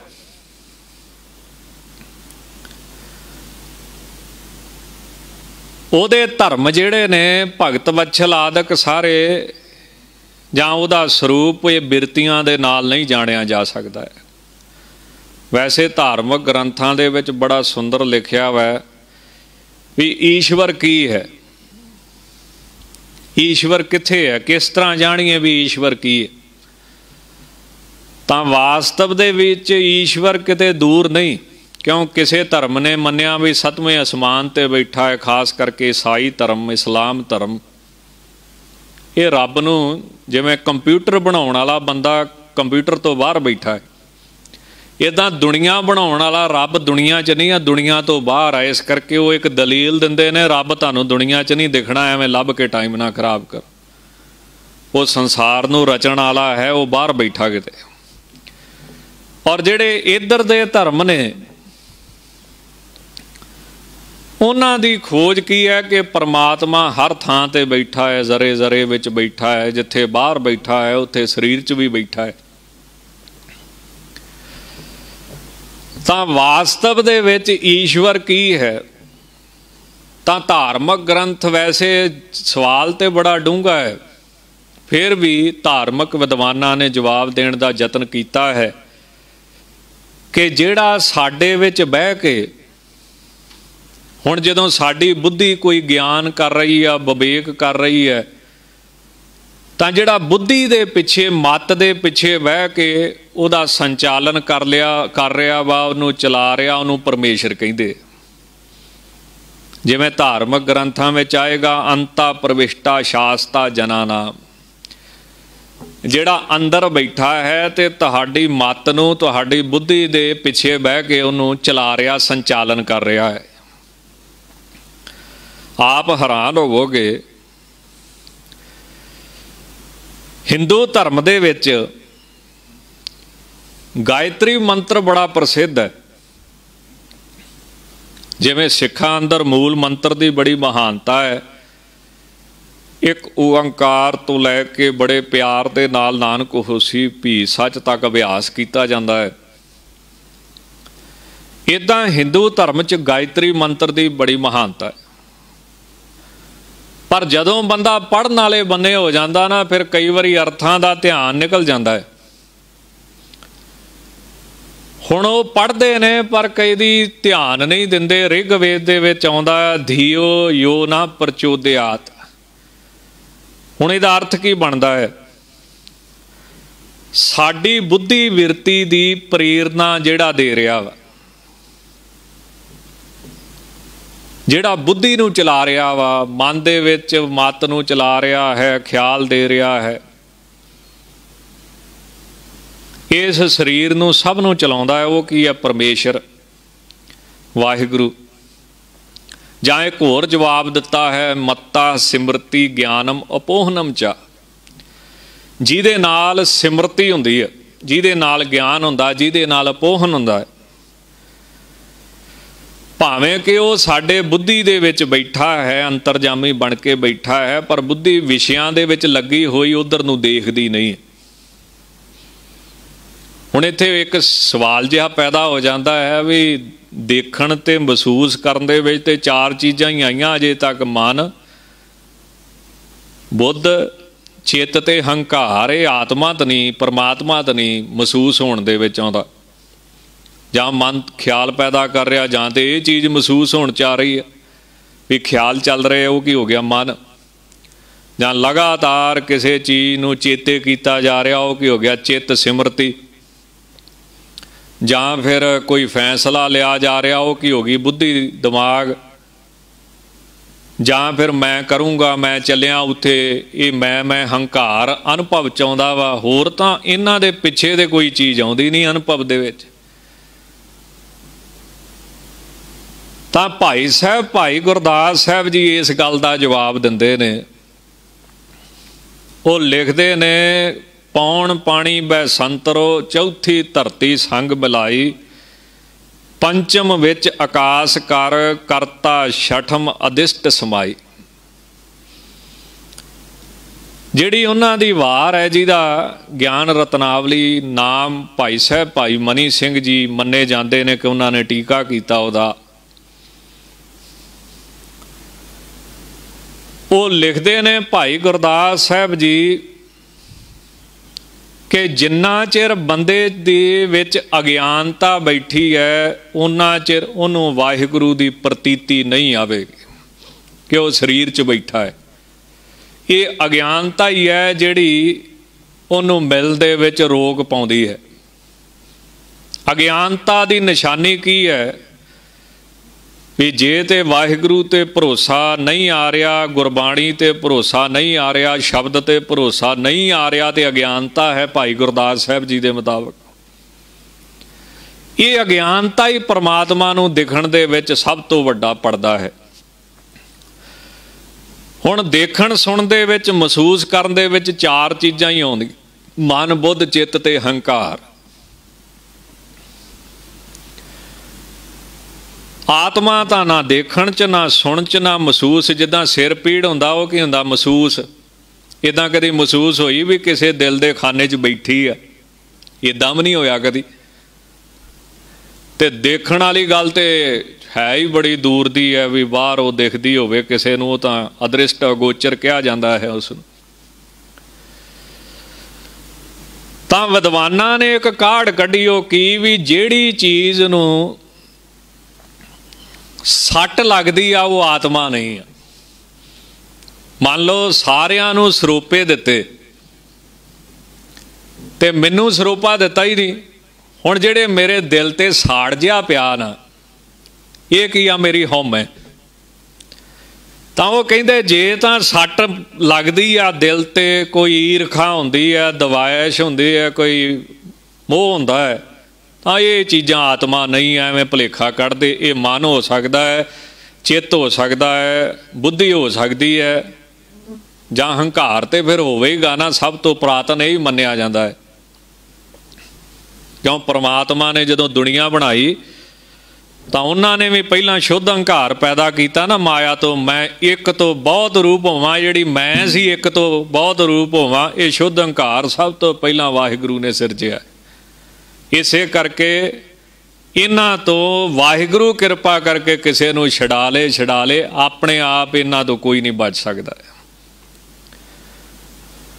ਇਸੇ ਕਰਕੇ ਗੁਰਬਾਣੀ ਦੇ ਵਿੱਚ ਅਰਦਾਸਾਂ ਆਉਂਦੀਆਂ ਨੇ, ਕਾਮ, ਕ੍ਰੋਧ, ਅਰ ਲੋਭ, ਮੋਹ, ਬਿਨ ਸਜਾਇਆ ਹੰਬੇਵ ਨਾਨਕ, ਪ੍ਰਭ ਸਰਣਾਗਤੀ ਕਰ ਪ੍ਰਸਾਦ, ਗੁਰਦੇਵ। ਇਹ ਚੀਜ਼ਾਂ ਗੁਰੂ ਸਾਹਿਬ ਹੀ ਛਡਾ ਸਕਦੇ, ਹੋਰ ਕੋਈ ਨਹੀਂ। ਚਲੋ ਇਸ ਪਾਸੇ ਨਾ ਜਾਈਏ ਤਾਂ ਕਹਿੰਦੇ ਜਿਹੜੀ ਸੱਟ ਲੱਗਦੀ ਹੈ, ਉਹ ਹਉਮੈ ਹੁੰਦੀ ਹੈ, ਉਹ ਆਤਮਾ ਨਹੀਂ ਆ ਜਿਹੜਾ ਖਿਆਲ ਪੈਦਾ ਕਰਦੀ ਆ, ਉਹ ਮਨ ਹੈ, ਉਹ ਵੀ ਆਤਮਾ ਨਹੀਂ ਆ ਜਿਹੜੀ ਕਿਸੇ ਨੂੰ ਚੇਤੇ ਕਰਦੀ ਪਈ ਆ, ਉਹ ਚੇਤਾ, ਉਹ ਵੀ ਆਤਮਾ ਨਹੀਂ ਆ ਜਿਹੜੀ ਫੈਸਲਾ ਲੈਂਦੀ ਪਈ ਆ, ਬੁੱਧੀ ਆ, ਉਹ ਵੀ ਆਤਮਾ ਨਹੀਂ। ਤਾਂ ਜਿਹੜੀ ਚੀਜ਼ ਤੇ ਸੱਟ ਲੱਗਦੀ ਪਈ, ਉਹ ਹਉਮੈ ਆ, ਉਹ ਆਤਮਾ ਨਹੀਂ ਆ ਤਾਂ ਇਸ ਤਰ੍ਹਾਂ ਯਤਨ ਕੀਤੇ ਨੇ, ਪਰ ਸੌਖਾ ਜਿਹਾ ਅਰਥ ਕੀ ਆ ਵੀ ਈਸ਼ਵਰ ਕੀ ਆ? ਤਾਂ ਭਾਈ ਗੁਰਦਾਸ ਸਾਹਿਬ ਨੇ ਨਾ, ਇਹ ਤਾਂ ਚਲੋ ਵਿਦਵਾਨਾਂ ਦੀਆਂ ਗੱਲਾਂ ਨੇ, ਧਾਰਮਿਕ ਗ੍ਰੰਥਾਂ ਦੀਆਂ। ਭਾਈ ਗੁਰਦਾਸ ਸਾਹਿਬ ਨੇ ਬਹੁਤ ਸੌਖਾ ਜਿਹਾ ਇਹਨੂੰ ਕਰਕੇ ਦੱਸਿਆ। ਉਹ ਕਹਿੰਦੇ ਪੰਜ ਤਤ 25 ਗੁਣ 70 ਮਿੱਤਰ ਮਿਲ ਦੇਹ ਬਣਾਈ। ਜਦੋਂ ਇਹ ਸਰੀਰ ਬਣਦਾ ਪਿਆ ਸੀ ਬੰਦੇ ਦਾ ਤਾਂ ਪੰਜਾਂ ਤੱਤਾਂ ਤੋਂ ਇਹ ਸਰੀਰ ਬਣਿਆ। ਪੰਜ ਤੱਤ ਰਲ ਕੇ ਨਹੀਂ ਸੀ ਬੈਂਦੇ ਹੁਣ ਵੀ ਤੁਸੀਂ ਦੇਖੋ, ਪਾਣੀ ਤੇ ਧਰਤੀ ਦਾ ਉਲਟਾ ਸੁਭਾਅ ਹੈ। ਅੱਗ ਦਾ ਤੇ ਪਾਣੀ ਦਾ ਉਲਟਾ ਸੁਭਾਅ ਹੈ। ਪੰਜ ਤੱਤ ਇੱਕ ਦੂਜੇ ਦੇ ਵਿਰੋਧੀ ਆ ਇਹ ਮਿਲ ਕੇ ਨਾ ਬਹਿਣ, ਫਿਰ ਇਹਨਾਂ ਦੇ ਵਿੱਚ ਰੱਬ ਨੇ ਆਪਣੀ ਜੋਤ ਰੱਖੀ। ਤੇ ਜਿੰਨਾ ਚਿਰ ਉਹ ਜੋਤ ਰਹਿੰਦੀ ਹੈ, ਸਾਡੇ ਸਰੀਰ ਦੇ ਵਿੱਚ ਉਹਨਾਂ ਚਿਰ ਇਹ ਸਰੀਰ ਬਣਿਆ ਰਹਿੰਦਾ ਹੈ, ਜਿੱਦਣ ਉਹ ਨਿਕਲ ਜਾਂਦੀ ਹੈ ਫਿਰ ਜਿਹੜੇ ਤੱਤਾਂ ਚੋਂ ਪੈਦਾ ਹੋਇਆ ਸੀ, ਉਹਨਾਂ 'ਚ ਹੀ ਰਲ ਜਾਂਦਾ, ਕਿਉਂ ਤੱਤ ਵਿਰੋਧੀ ਹੈ ਇੱਕ ਦੂਜੇ ਦੇ ਸਾਰੇ। ਪਾਣੀ ਵਿਰੋਧੀ ਹੈ ਧਰਤੀ ਦਾ, ਅੱਗ ਵਿਰੋਧੀ ਹੈ ਪਾਣੀ ਦੀ, ਹਵਾ ਵਿਰੋਧੀ ਹੈ ਇਹਨਾਂ ਚੀਜ਼ਾਂ ਦੀ, ਆਕਾਸ਼ ਵਿਰੋਧੀ ਹੈ। ਤਾਂ ਇਸ ਕਰਕੇ ਮਹਾਰਾਜ ਕਹਿੰਦੇ ਪੰਚ ਤਤ 25 ਗੁਣ 70 ਮਿੱਤਰ ਮਿਲ ਦੇਹ ਬਣਾਈ, ਪੰਚਮ ਵਿੱਚ ਆਕਾਸ਼ ਕਰ, ਕਰਤਾ ਛਠਮ ਅਦਿਸ਼ਟ ਸਮਾਈ। ਇਹਨਾਂ ਦੇ ਵਿੱਚ ਫਿਰ ਵਾਹਿਗੁਰੂ ਬੈਠਾ ਤੇ ਜਿੰਨਾ ਚਿਰ ਵਾਹਿਗੁਰੂ ਉਹਨਾਂ ਚਿਰ ਇਹ ਨਹੀਂ ਲੜਦੇ, ਜਦੋਂ ਉਹ ਜੋਤ ਵਿੱਚੋਂ ਨਿਕਲ ਜਾਂਦੀ ਹੈ, ਫਿਰ ਇਹੀ ਸਰੀਰ ਮਿੱਟੀ ਹੋ ਜਾਂਦਾ, ਸਵਾਹ ਹੋ ਜਾਂਦਾ, ਖਤਮ ਹੋ ਜਾਂਦਾ ਹੈ ਤੇ ਇਹਨੂੰ ਸਾੜ ਕੇ ਆਉਣਾ ਪੈਂਦਾ ਹੈ, ਇਹਦੇ ਵਿੱਚੋਂ ਬਦਬੂ ਆਉਣ ਲੱਗ ਪੈਂਦੀ ਸਤਿਗੁਰੂ ਜੀ ਲਿਖਦੇ ਨੇ ਬਾਣੀ ਦੇ ਵਿੱਚ ਕਿ ਉਹ ਕਿਹੜੀ ਹਸਤੀ ਹੈ ਜਿਹੜੀ ਇਸ ਸਰੀਰ ਵਿੱਚੋਂ ਨਿਕਲ ਗਈ? ਬਾਬਾ ਬੋਲਤੇ ਤੇ ਕਹਾਂ ਗਏ? ਦੇਹੀ ਕੇ ਸੰਗ ਰਹਤੇ, ਸੁਰਤ ਮਾਹੇ ਜੋ ਨਿਰਤੇ ਕਰਤੇ, ਕਥਾ ਵਾਰਤਾ ਕਹਤੇ। ਤਾਂ ਈਸ਼ਵਰ ਕੀ ਹੈ? ਜਿਹਦੇ ਕਰਕੇ ਸਰੀਰ ਕਾਇਮ ਨਾ ਰਵੇ, ਜਿਹੜੀ ਜੋਤ ਵਿੱਚੋਂ ਨਿਕਲ ਜੇ। ਤਾਂ ਉਹ ਜਿਹੜਾ ਈਸ਼ਵਰ ਹੈ, ਵਾਹਿਗੁਰੂ ਹੈ, ਪਰਮੇਸ਼ਰ ਹੈ ਉਹ ਬਿਰਤੀਆਂ ਦੁਆਰਾ ਜਾਣਨ ਦੇ ਵਿੱਚ ਨਹੀਂ ਆਉਂਦਾ, ਆ ਬ੍ਰਿਤ ਹੈ। ਉਹਦਾ ਧਰਮ, ਉਹਦਾ ਸਰੂਪ ਬਿਰਤੀਆਂ ਦੁਆਰਾ ਮਹਾਰਾਜ ਕਹਿੰਦੇ ਜਾਣਿਆ ਨਹੀਂ ਜਾਂਦਾ ਹੈ। ਇਸ ਤੋਂ ਅੱਗੇ ਕਲਗੀ ਧਰਜੀ ਉਸਤਤ ਕਰਦੇ ਨੇ, ਅਖਲ ਜੋਗੇ,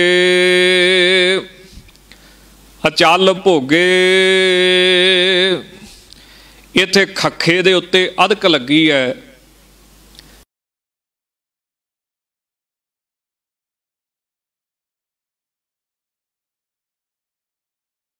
ਉਹ ਖੱਖੇ ਨੂੰ ਆ ਸਿਹਾਰੀ। ਇਹ ਹੁਣ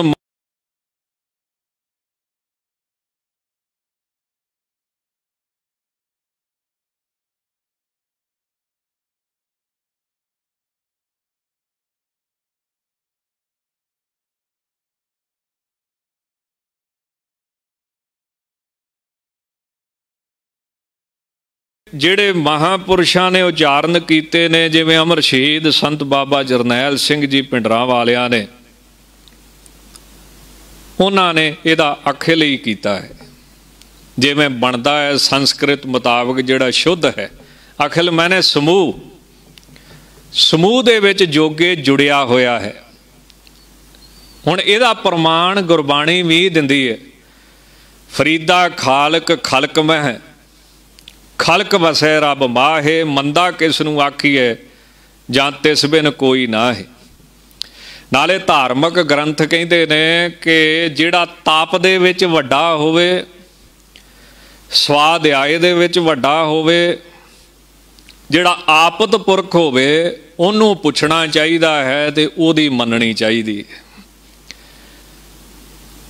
ਹੁਣ ਆਪਾਂ ਹਰੇਕ ਨੂੰ ਮੂੰਹ ਚੁੱਕ ਕੇ ਜੇ ਪੁੱਛੀਏ ਵੀ ਆ ਰੱਬ ਬਾਰੇ ਦੱਸ ਤੇ ਉਹਨੇ ਫਿਰ ਪਤਾ ਨਹੀਂ ਸਹੀ ਦੱਸਣਾ ਕਿ ਗਲਤ ਦੱਸਣਾ ਹੈ। ਧਾਰਮਿਕ ਗ੍ਰੰਥ ਕਹਿੰਦੇ ਨੇ, ਉਹਨੂੰ ਪੁੱਛੋ ਜਿਹੜਾ ਆਪਤ ਪੁਰਖ ਹੋਵੇ। ਸ਼੍ਰੀ ਮਦ ਵਾਲਮੀਕ ਜਿਹੜੀ ਰਮਾਇਣ ਆ, ਵਾਲਮੀਕ ਜੀ ਨੇ ਲਿਖੀ, ਉਹਦੇ ਸ਼ੁਰੂ ਦੇ ਵਿੱਚ ਜਿਹੜਾ ਪਹਿਲਾ ਸ਼ਲੋਕ ਆਉਂਦਾ ਨਾ ਬਾਲ ਕਾਂਡ ਦਾ ਉਹ ਚ ਬੜੀ ਸੋਹਣੀ ਗੱਲ ਲਿਖੀ ਹੈ ਕਿ ਕਿੰਨੂੰ ਪੁੱਛਾਂ? ਤਾਂ ਕਹਿੰਦੇ ਜਿਹੜੇ ਤਪੱਸਿਆ ਤੇ ਸਵਾਦ ਹਾਏ ਦੇ ਵਿੱਚ ਜਿਹਦੇ ਕਦੀ ਨਾਗਾ ਨਾ ਹੋਵੇ। ਬੋਲਣ ਦੇ ਵਿੱਚ ਜਿਹੜਾ ਆਪਤ ਪੁਰਖ ਹੋਵੇ, ਸ੍ਰੇਸ਼ਟ ਪੁਰਖ ਹੋਵੇ, ਉਹਨੂੰ ਪੁੱਛਣਾ ਚਾਹੀਦਾ ਹੈ। ਬੜਾ ਸੋਹਣਾ ਸ਼ਲੋਕ ਆਉਂਦਾ, ਤਪਾ ਸਵਾਦ ਹਾਇਆ ਨਿਰਤਮ ਵਾਗ ਵਿਦਾਮ ਵਰਮ ਨਾਰਦਮ ਪਰਿਪੱਛ ਵਾਲਮੀਕੀ ਹੀ ਮੁਨੀ ਪੁੰਗਵਮ ਤਪੱਸਿਆ ਤੇ ਸਵਾਦ ਹਾਏ ਚ ਜਿਹੜਾ ਨਿਰਤ ਰਹਿੰਦਾ ਹੈ, ਬੋਲਣ ਵਾਲਿਆਂ ਦੇ ਵਿੱਚੋਂ ਜਿਹੜਾ ਸਭ ਤੋਂ ਸ੍ਰੇਸ਼ਟ ਹੈ, ਉਹਨੂੰ ਵਾਲਮੀਕ ਜੀ ਨੇ ਪ੍ਰਸ਼ਨ ਕੀਤਾ ਸਭ ਤੋਂ ਪਹਿਲਾਂ। ਉਹ ਕੌਣ ਸੀ? ਨਾਰਦ। ਹੁਣ ਨਾਰਦ ਦਾ ਅਰਥ ਕੀ ਹੁੰਦਾ ਹੈ?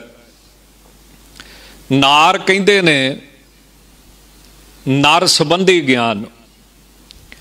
ਜਾਂ ਨਰ ਤੇ ਨਾਰਾਇਣ ਦੇ ਉਪਲਬਧ ਗਿਆਨ ਨੂੰ ਕੀ ਕਹਿੰਦੇ ਨਾਰ?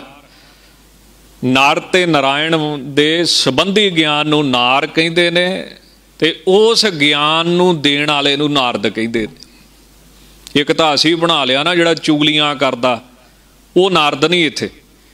ਜਿਹਨੂੰ ਨਰ ਤੇ ਨਾਰਾਇਣ ਵਾਹਿਗੁਰੂ ਦਾ ਜਿਹਨੂੰ ਗਿਆਨ ਹੈ, ਪਰਮੇਸ਼ਰ ਦਾ ਗਿਆਨ ਹੈ, ਜੀਵ ਦਾ ਤੇ ਪਰਮਾਤਮਾ ਦਾ ਜਿਹਨੂੰ ਸੰਪੂਰਨ ਗਿਆਨ ਹੈ। ਉਹਦਾ ਜਿਹੜਾ ਗਿਆਨ ਕਰਾਵੇ, ਉਹਨੂੰ ਨਾਰਦ ਕਹਿੰਦੇ ਨੇ। ਤਾਂ ਕੀ ਲਿਖਦੇ ਧਾਰਮਿਕ ਗ੍ਰੰਥ? ਨਾਰਮ ਦਦਾਤੀ ਇਤੀ ਨਾਰਦਾ ਹੈ। ਨਾਰ ਸੰਬੰਧੀ ਜਿਹੜਾ ਗਿਆਨ ਦਵੇ, ਨਾਰਾਇਣ ਸੰਬੰਧੀ ਜਿਹੜਾ ਗਿਆਨ ਦਵੇ, ਉਹਨੂੰ ਨਾਰਦ ਕਹਿੰਦੇ ਹਨ। ਜਾਂ ਫਿਰ ਨਾਰ ਸੰਬੰਧੇ ਗਿਆਨਮ ਤਦਤੀ ਖੰਡਿਅਤੀ ਤੀ ਨਾਰਦਾ ਮਨੁੱਖ ਦੇ ਹਿਰਦੇ ਵਿੱਚ ਜਿਹੜਾ ਅਗਿਆਨ, ਉਹਨੂੰ ਵੀ ਨਾਰ ਕਹਿੰਦੇ ਨੇ। ਨਾਰ ਸ਼ਬਦ ਅਗਿਆਨ ਦਾ ਵੀ ਹੈ, ਨਾਰ ਸ਼ਬਦ ਨਾਰਾਇਣ ਦਾ ਵੀ ਹੈ। ਹਿਰਦੇ ਵਿੱਚ ਜਿਹੜਾ ਅਗਿਆਨ ਬੈਠਾ, ਉਹ ਕੀ ਨਾਰ? ਉਹਨੂੰ ਖੰਡਣ ਵਾਲਾ ਕੌਣ ਹੈ ਨਾਰਦ? ਤਾਂ ਮਦ ਵਾਲਮੀਕ ਰਮਾਇਣ ਦੇ ਵਿੱਚ ਕੀ ਵਾਲਮੀਕ ਜੀ ਮਹਾਰਾਜ ਲਿਖਦੇ, ਜਿਹੜਾ ਤਪੱਸਿਆ 'ਚ ਵੱਡਾ ਹੋਵੇ ਸਵਾਧਿਆਏ 'ਚ ਲਗਾਤਾਰ ਲੱਗਾ ਹੋਵੇ, ਬੋਲਣ ਦੇ ਵਿੱਚ ਸ੍ਰੇਸ਼ਟ ਹੋਵੇ, ਉਹਦੀ ਗੱਲ ਮੰਨੋ ਤੇ ਉਹਨੂੰ ਪੁੱਛੋ। ਤਾਂ ਅੱਜ ਦੇ ਸਮੇਂ ਦੇ ਵਿੱਚ ਮੇਰੇ ਹਿਸਾਬ ਦੇ ਨਾਲ ਜਿਵੇਂ ਸਤਕਾਰਯੋਗ ਅਮਰ ਸ਼ਹੀਦ ਧੰਨ ਧੰਨ ਬਾਬਾ ਦੀਪ ਸਿੰਘ ਜੀ, ਜਦੋਂ ਦਸਮ ਦੀ ਬਾਣੀ ਲਿਖਦੇ ਪਏ ਸੀ ਤਾਂ ਉਹਨਾਂ ਨੇ ਇਹ ਸ਼ਬਦ ਮਿੱਤਰ ਪਿਆਰੇ ਨੂੰ ਹਾਲ ਫਕੀਰਾਂ ਦਾ ਕਹਿਣਾ। ਉਹਨਾਂ ਕੀ ਸਵਾਲ ਕੀਤਾ ਸੀ ਸੰਗਤ ਵਿੱਚ? ਕਿ ਮਹਾਰਾਜ ਨੇ ਫਕੀਰ ਬਣਾਇਆ ਕਿ ਮਰੀਦ? ਫਕੀਰ ਤੇ ਬਣਾਇਆ ਨਹੀਂ ਸਾਨੂੰ। ਤਾਂ ਉਹਨਾਂ ਦੇ ਜੋ ਇਤਿਹਾਸਕਾਰਾਂ ਲਿਖਿਆ ਹੈ, ਇਹ ਸੰਗਤ ਨੂੰ ਬੇਨਤੀ ਕਰਕੇ ਉਹਨਾਂ ਆਖਿਆ ਸੀ ਕਿ ਸ਼ੁੱਧ ਪਾਠ ਮੁਰੀਦ ਹੈ ਜਿਹੜਾ ਅੱਜ ਕੱਲ ਚੱਲਦਾ ਮਿੱਤਰ ਪਿਆਰੇ ਨੂੰ। ਹਾਲ ਮੁਰੀਦਾਂ ਦਾ ਕਹਿਣਾ, ਤੁਧ ਬਿਨ ਰੋਗ ਰਜਾਈਆਂ ਦਾ ਉੱਡਣ, ਨਾਗ ਨਿਵਾਸਾਂ ਦੇ ਰਹਿਣ। ਉਹਨਾਂ ਦਾ ਮੰਨਿਆ ਗਿਆ ਪਾਠ ਕਿਉਂ? ਤਾਂ ਉਹ ਸਮੇਂ ਸੰਗਤ ਵਿੱਚ ਗੱਲ ਚੱਲਦੀ ਹੈ ਕਿ ਤੋਕ ਬਦਲਣ ਵਾਲੇ ਨੂੰ ਸਿਰ ਦੇਣਾ ਪੈਂਦਾ ਹੈ। ਉਹ ਸਿਰ ਲੱਤ ਸੂਰਮੇ ਹੋਏ ਨੇ ਫਿਰ। ਜਿਉਂਦੇ ਸ਼ਹੀਦ, ਜਿੰਦਾ ਸ਼ਹੀਦ ਮੰਨੇ ਜਾਂਦੇ ਨੇ ਧੰਨ ਬਾਬਾ ਦੀਪ ਸਿੰਘ ਜੀ ਤੇ ਉਹਨਾਂ ਨੇ ਫਿਰ ਅਰਦਾਸ ਤੇ ਬੜਾ ਪਹਿਲਾਂ ਹੀ ਕਰਾਤੀ, ਅਰਸੀਸ ਬਾਅਦ ਚ ਭੇਟ ਕੀਤਾ, ਪੰਥ ਦੀ ਦਾਤ ਸਮਝ ਕੇ ਪੰਥ ਦੀ ਸੇਵਾ ਚਲਾਇਆ। ਇਸੇ ਤਰ੍ਹਾਂ ਮੇਰੀ ਜੋ ਸ਼ਰਧਾ ਹੈ, ਹਿਸਾਬ ਹੈ ਕਿ ਅੱਜ ਦੇ ਸਮੇਂ 'ਚ ਸਿਰ ਕਿੰਨੇ ਦਿੱਤਾ ਹੈ? ਉਹ ਦਿੱਤਾ ਹੈ ਸ਼੍ਰੀਮਾਨ ਸੰਤ ਬਾਬਾ ਜਰਨੈਲ ਸਿੰਘ ਜੀ ਖਾਲਸਾ ਪਿੰਡਰਾਂ ਵਾਲੇ ਤਾਪ 'ਚ ਵੀ ਵੱਡੇ ਨੇ, ਸਵਾਦ ਆਏ 'ਚ ਵੀ ਵੱਡੇ ਨੇ, ਕੁਰਬਾਨੀ ਵਿੱਚ ਵੀ ਵੱਡੇ ਨੇ। ਉਹਨਾਂ ਨੇ ਜਿਹੜਾ ਪਾਠ ਕੀਤਾ ਨਾ ਅਖਲ ਜੋਗੇ ਵਾਲਾ, ਸੰਸਕ੍ਰਿਤ ਮੁਤਾਬਕ ਜਿਹਨੂੰ ਅਖਲ ਕਹਿੰਦੇ ਨੇ, ਅਖਿਲ, ਉਹੀ ਸ਼ੁੱਧ ਹੋਣਾ ਚਾਹੀਦਾ ਵਾ ਅਰਥ ਮੁਤਾਬਕ। ਤੇ ਉਹੋ ਹੀ ਪੜਨਾ ਚਾਹੀਦਾ ਹੈ, ਕਿਉਂਕਿ ਤਪ ਚ ਵੱਡੇ ਨੇ, ਕੁਰਬਾਨੀ ਚ ਵੱਡੇ ਨੇ, ਔਰ ਫਿਰ ਆਪਣਾ ਉਹਨਾਂ ਸੀਸ ਵੀ ਦਿੱਤਾ ਹੈ ਪੰਥ ਵਾਸਤੇ, ਧਰਮ ਵਾਸਤੇ। ਬਾਕੀ ਤੇ ਸਾਰੇ ਪਤਾ ਹੀ ਹੈ, ਵਾਹਿਗੁਰੂ ਜਾਣਦਾ ਹੈ। ਤਾਂ ਅਖਿਲ ਜੋਗੇ, ਅਖਿਲ ਮੈਨੇ ਸਮੂਹ, ਜਿਹੜਾ ਸਮੂਹ ਦੇ ਵਿੱਚ ਜੁੜਿਆ ਹੋਇਆ। ਹਰ ਜਗ੍ਹਾ ਤੇ ਜਿਹੜਾ ਵਾਹਿਗੁਰੂ ਪਰਮੇਸ਼ਰ ਬੈਠਾ ਹੋਇਆ ਹੈ। ਅਚਲ ਭੋਗੇ, ਜੋ ਚੱਲੇ ਨਾ, ਅਸਥਿਤ ਨਾਸ਼ ਰਹਿਤ, ਭੋਗ ਸੰਗਿਆ ਪਦਾਰਥ ਜਾਂ ਆਨੰਦ। ਜਿਸ ਵਾਹਿਗੁਰੂ ਦਾ ਜਿਹੜਾ ਆਨੰਦ ਹੈ, ਉਹ ਚਲਾਏਮਾਨ ਨਹੀਂ, ਨਾਸ਼ ਰਹਿਤ ਨਹੀਂ। हे ਅਕਾਲ ਪੁਰਖ, ਤੇਰੇ ਸਰੂਪ ਦਾ ਭੋਗ ਆਨੰਦ ਹਮੇਸ਼ਾ ਅਚਲ ਬਣਿਆ ਰਹਿੰਦਾ ਹੈ। ਜਿਹੜਾ ਸੰਪਰਦਾਇ ਗਿਆਨੀਆਂ ਨੇ ਆਨੰਦ ਦਾ ਅਰਥ ਕੀਤਾ ਹੈ, ਉਹ ਹੈ ਅੰਨ ਦਾ। ਅੰਨ ਵੱਖਰਾ ਕਰਕੇ, ਦਾ ਵੱਖਰਾ ਕਰਕੇ ਅੰਨ ਦਾ ਅਰਥ ਕੀਤਾ ਰਹਿਤ, ਦਾ ਦਾ ਅਰਥ ਕੀਤਾ ਦਵੈਤ, ਦੂਜਾ। ਉਹ ਸਵਾਦ ਜਿਹਦੇ ਵਿੱਚ ਦੂਜੇ ਦੀ ਲੋੜ ਨਹੀਂ। ਹੁਣ ਦੁਨੀਆ ਦੇ ਵਿੱਚ ਜਿੰਨੇ ਆਨੰਦ ਨੇ, ਇਹ ਚ ਦੂਜਾ ਚਾਹੀਦਾ ਹੈ। ਅੱਖਾਂ ਨੂੰ ਦੇਖਣ ਵਾਸਤੇ ਦ੍ਰਿਸ਼ ਚਾਹੀਦਾ ਹੈ, ਉਹਨਾਂ ਚਿਰ ਅੱਖਾਂ ਨੂੰ ਠੰਡ ਨਹੀਂ ਪੈਂਦੀ। ਕੰਨਾਂ ਨੂੰ ਸੁਣਨ ਵਾਸਤੇ ਦੂਜਾ ਸ਼ਬਦ ਚਾਹੀਦਾ ਹੈ, ਨਿੰਦਿਆ ਚੁਗਲੀ ਚਾਹੀਦੀ ਹੈ। ਰਸਨਾ ਨੂੰ ਪਦਾਰਥ ਚਾਹੀਦਾ ਹੈ, ਪਦਾਰਥ ਵੀ ਦੂਜਾ ਹੀ ਹੈ। ਅੱਜ ਕੱਲ ਤੇ ਹੋਰ ਸਿਸਟਮ ਨਵਾਂ ਚੱਲ ਪਿਆ, ਜੇ ਵਿਹਲੇ ਬੈਠੇ ਤੇ ਫੇਸਬੁੱਕ ਦਾ ਮੂੰਹ ਦੇਖੀ ਜਾਓ, ਦੂਜਾ ਫੋਨ ਚਾਹੀਦਾ ਹੈ ਨਾਲ, ਕੱਲਾ ਤੇ ਕੋਈ ਬਹਿੰਦਾ ਹੀ ਨਹੀਂ। ਜਿਹੜੇ ਕੱਲੇ ਬਹਿੰਦੇ ਨੇ, ਉਹ ਮਨ ਦੇ ਖਿਆਲਾਂ 'ਚ ਵਹਿ ਤੁਰਦੇ ਨੇ, ਖਿਆਲ ਵੀ ਤੇ ਦੂਜੇ ਹੀ ਨੇ। ਤਾਂ ਪੁਰਸ਼ ਨੂੰ ਇਸਤਰੀ ਚਾਹੀਦੀ ਹੈ, ਇਸਤਰੀ ਨੂੰ ਪੁਰਸ਼ ਚਾਹੀਦਾ ਹੈ, ਇਸਤਰੀ ਨੂੰ ਅੱਗੇ ਪੈਸਾ ਚਾਹੀਦਾ ਹੈ, ਪੁਰਸ਼ ਨੂੰ ਅੱਗੇ ਜਾਇਦਾਦ ਚਾਹੀਦੀ ਦੂਜਾ ਚਾਹੀਦਾ ਇਹਨਾਂ ਨੂੰ ਸਵਾਦ ਵਾਸਤੇ। ਪਰ ਅਸਲੀ ਸਵਾਦ ਕਿਹੜਾ ਹੁੰਦਾ ਹੈ ਜਿੱਥੇ ਦੂਜੇ ਦੀ ਲੋੜ ਨਹੀਂ? ਉਹ ਕੀ ਆ? ਆਨੰਦ ਭਇਆ ਮੇਰੀ ਮਾਏ ਸਤਿਗੁਰੂ ਮੈਂ ਪਾਇਆ। ਉਹ ਜਦੋਂ ਸਤਿਗੁਰੂ ਪ੍ਰਾਪਤ ਹੁੰਦਾ ਹੈ ਫਿਰ ਉਹ ਸਵਾਦ ਪੈਦਾ ਹੁੰਦਾ ਜਿਹਦੇ 'ਚ ਦੂਜੇ ਦੀ ਕੋਈ ਗੱਲ ਨਹੀਂ ਆ ਹੋਵੇ ਤਾਂ ਵੀ ਕੋਈ ਗੱਲ ਨਹੀਂ ਆ, ਨਾ ਹੋਵੇ ਤਾਂ ਵੀ ਕੋਈ ਗੱਲ ਨਹੀਂ। ਉਹਨੂੰ ਕੀ ਕਹਿੰਦੇ? ਆਨੰਦ। ਜਿਹੜਾ ਦੂਜੇ ਤੋਂ ਪੈਦਾ ਹੁੰਦਾ, ਉਹ ਖਤਮ ਹੋ ਜਾਂਦਾ। ਇਸ ਕਰਕੇ ਆਨੰਦ ਸ਼ਬਦ ਦਾ ਅਰਥ ਕਮਾਲ ਦਾ ਕੀਤਾ ਮਹਾਂਪੁਰਸ਼ਾਂ ਨੇ। ਅਨ ਮੈਨੇ ਰਹਿਤ, ਦੱਦਾ ਮੈਨੇ ਦੂਜਾ। ਦੁਨੀਆ ਦਾ ਜਿੰਨਾ ਆਨੰਦ ਹੈ, ਦੂਜੇ ਤੋਂ ਪੈਦਾ ਹੁੰਦਾ। ਹੈ ਆਪਣਾ ਆਨੰਦ ਕਿੰਨੂੰ ਆਉਂਦਾ ਹੈ? ਸੁਗਣੀ ਸਾਹਿਬ ਦਾ ਪਾਠ ਕਰਦਿਆਂ ਕਈ ਵਾਰੀ ਇੱਕ ਪੰਕਤੀ ਦਾ ਅਰਥ ਨਹੀਂ ਲੱਗਦਾ। ਆਤਮ ਰਸ, ਬ੍ਰਹਮ ਗਿਆਨੀ ਚੀਨਾ।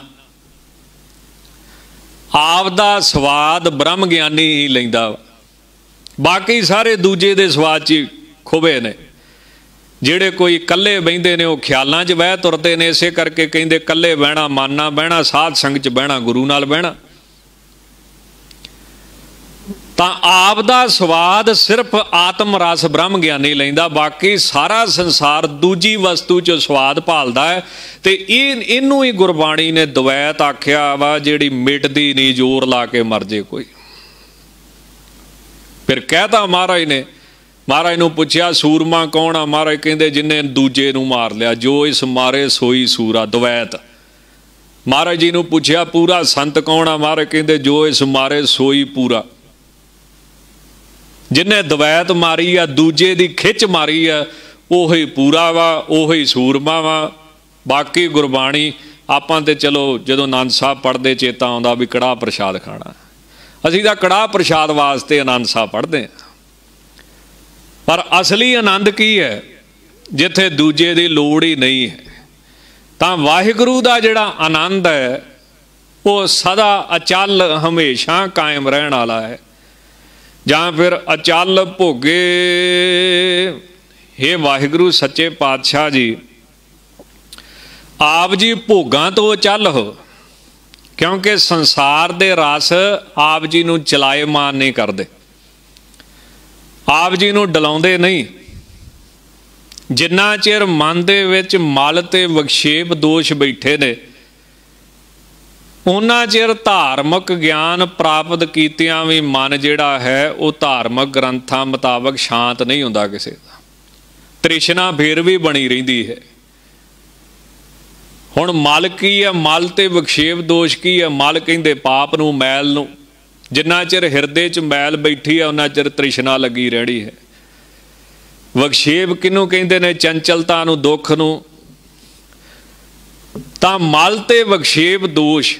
ਜਿੰਨਾ ਚਿਰ ਹਿਰਦੇ 'ਚ ਬੈਠੇ ਨੇ ਉਹਨਾਂ ਚਿਰ ਧਾਰਮਿਕ ਗ੍ਰੰਥ ਪੜਿਆ ਵੀ ਹਿਰਦੇ ਨੂੰ ਸ਼ਾਂਤੀ ਨਹੀਂ। ਇਹਦਾ ਮਤਲਬ ਕਿ ਅਗਿਆਨ ਬੈਠਾ ਹੈ।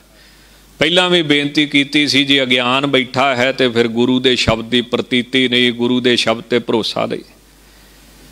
ਜਿਵੇਂ ਭਾਈ ਸਾਹਿਬ, ਭਾਈ ਮਨੀ ਸਿੰਘ ਜੀ ਨੂੰ ਪੁੱਛਿਆ ਵੀ ਵਾਹਿਗੁਰੂ ਸਰਬ ਵਿੱਚ ਵਿਆਪਕ ਹੈ। ਹਰ ਥਾਂ ਤੇ ਬੈਠਾ ਹੈ, ਫਿਰ ਦੇਖਦਾ ਕਿਉਂ ਨਹੀਂ? ਤਾਂ ਭਾਈ ਮਨੀ ਸਿੰਘ ਜੀ ਨੇ ਆਖਿਆ, ਜਿਵੇਂ ਜਿਵੇਂ ਬੀਜ ਕਾਠ ਵਿੱਚ ਵੀ ਆ, ਫੁੱਲਾਂ ਵਿੱਚ ਵੀ ਆ, ਪੱਤਰਾਂ ਵਿੱਚ ਵੀ ਵਿਆਪਿਆ ਹੋਇਆ ਪਰ ਫਲਾਂ ਵਿੱਚੋਂ ਦਿਖਦਾ ਹੈ। ਇਸੇ ਤਰ੍ਹਾਂ ਵਾਹਿਗੁਰੂ ਤਾਮਸੀ ਸ੍ਰਿਸ਼ਟੀ ਵਿੱਚ ਵੀ ਆ ਸਾਧਕੀ ਸ੍ਰਿਸ਼ਟੀ ਵਿੱਚ ਵੀ ਆ, ਰਾਜਸੀ ਸ੍ਰਿਸ਼ਟੀ ਵਿੱਚ ਵੀ ਆ, ਚੰਗੇ ਮਾੜੇ ਸਾਰਿਆਂ 'ਚ ਹੀ ਬੈਠਾ ਹੈ। ਜਿੱਥੇ ਚੰਗੇ ਮਾੜਿਆਂ 'ਚ ਬੈਠਾ, ਉੱਥੇ ਜੜ ਪਦਾਰਥਾਂ ਵਿੱਚ ਵੀ ਬੈਠਾ ਹੈ ਤਮੋ ਗੁਣ ਸ੍ਰਿਸ਼ਟੀ 'ਚ ਵੀ ਬੈਠਾ ਹੈ। ਪਰ ਦੇਖਦਾ ਕਿੱਥੇ ਹੈ? ਗੁਰਮਖਾਂ ਦੇ ਵਿੱਚ। ਇਸ ਕਰਕੇ ਗੁਰੂ ਦੇ ਚਰਨ ਫੜਨੇ ਪੈਂਦੇ, ਚਰਨ ਗਹੇ ਗੁਰਦੇਵ ਦੇ ਸੱਤ ਸ਼ਬਦ ਦੇ ਮੁਕਤ ਕਰਾਇਆ। ਕਿੱਡੀ ਸੋਹਣੀ ਉਦਾਹਰਨ ਹੈ ਵੀ ਬੀਜ ਜਿਹੜਾ ਹੈ, ਕਾਠ ਵਿੱਚ ਵੀ ਉਹੋ ਹੀ ਬੀਜ ਹੀ ਹੈ, ਬੀਜ ਦਾ ਸਰੂਪ ਹੀ ਹੈ, ਬੀਜ ਤੋਂ ਹੀ ਪੈਦਾ ਹੋਇਆ। ਫੁੱਲਾਂ ਵਿੱਚ ਵੀ ਬੀਜ ਹੈ। ਕਾਠ ਵਿੱਚ ਵੀ ਬੀਜ ਹੈ, ਪਰ ਦਿਖਦਾ ਕਿੱਥੇ ਆ ਫਲ 'ਚ? ਇਸੇ ਤਰ੍ਹਾਂ ਵਾਹਿਗੁਰੂ ਤੋਂ ਸਾਰਾ ਸੰਸਾਰ ਪੈਦਾ ਹੋਇਆ, ਹਰ ਜਗ੍ਹਾ ਵਾਹਿਗੁਰੂ ਆ, ਪਰ ਦਿਖਦਾ ਕਿੱਥੇ ਆ ਗੁਰਮੁਖ ਵਿੱਚ? ਗੁਰੂ ਦੇ ਵਿੱਚ, ਮਹਾਤਮਾ ਦੇ ਵਿੱਚ, ਉਹਦੇ ਚਰਨ ਫੜ ਲੈਣੇ ਚਾਹੀਦੇ ਨੇ, ਚਰਨ ਗਹੇ ਗੁਰਦੇਵ ਦੇ। ਤਾਂ ਜਿੰਨਾ ਚਿਰ ਕਿਸੇ ਦੇ ਅੰਦਰ ਭੋਗਾਂ ਦੀ ਖਿੱਚ ਹੈ ਤਾਂ ਮਹਾਰਾਜ ਸੱਚੇ ਪਾਤਸ਼ਾਹ ਕਹਿੰਦੇ, ਮਲ ਤੇ ਬਖਸ਼ੇਵ ਦੋਸ਼ ਅਜੇ ਉਹਦੇ ਹਿਰਦੇ 'ਚ ਬੈਠਾ ਹੋਇਆ ਹੈ।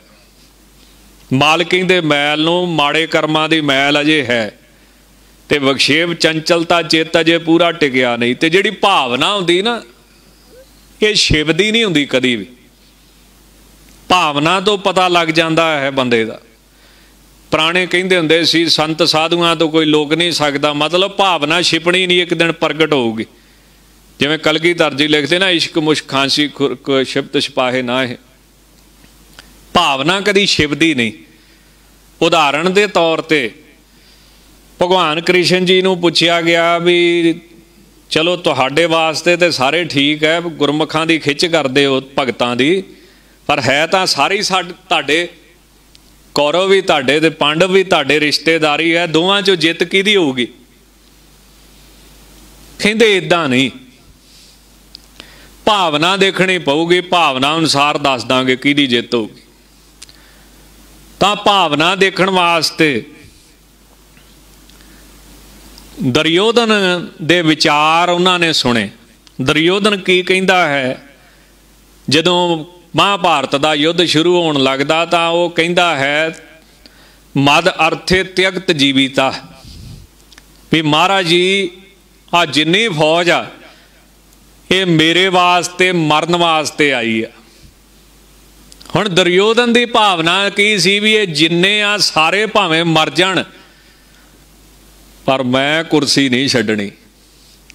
ਮੈਂ ਸਿੰਘਾਸਨ ਨਹੀਂ ਛੱਡਣਾ, ਮਦਰ ਤੇ ਤਿਆਗਤ ਜੀਵੀਤਾ ਇਹ ਸਭ ਮੇਰੇ ਵਾਸਤੇ ਮਰਨ, ਅਰਥ ਮੈਨੇ ਵਾਸਤੇ ਇੱਛਾ। ਮੇਰੇ ਵਾਸਤੇ ਜੀਵਨ ਤਿਆਗਣ ਲਈ ਆਏ ਭਗਵਾਨ ਨੇ ਫਿਰ ਅਰਜਨ ਨੂੰ ਪੁੱਛਿਆ ਵੀ ਅਰਜਨ, ਹੁਣ ਇਹਦੀ ਭਾਵਨਾ ਕਿਦਾਂ ਵੇਖੀਏ? ਤਾਂ ਉਹ ਅਰਜਨ ਦਾ ਜਿਹੜਾ ਸ਼ਲੋਕ ਆਉਂਦਾ, ਬੜਾ ਸੋਹਣਾ ਕਹਿੰਦਾ, ਜੇ ਸ਼ਾਮ ਅਰਥੇ ਕਾਂਕਸ਼ਿਤਾ ਕਾਂਕਸ਼ਿਤਮ ਨੋ ਰਾਜ්यम ਭੋਗਾ ਸੁਖਾਨੀ ਚਾ।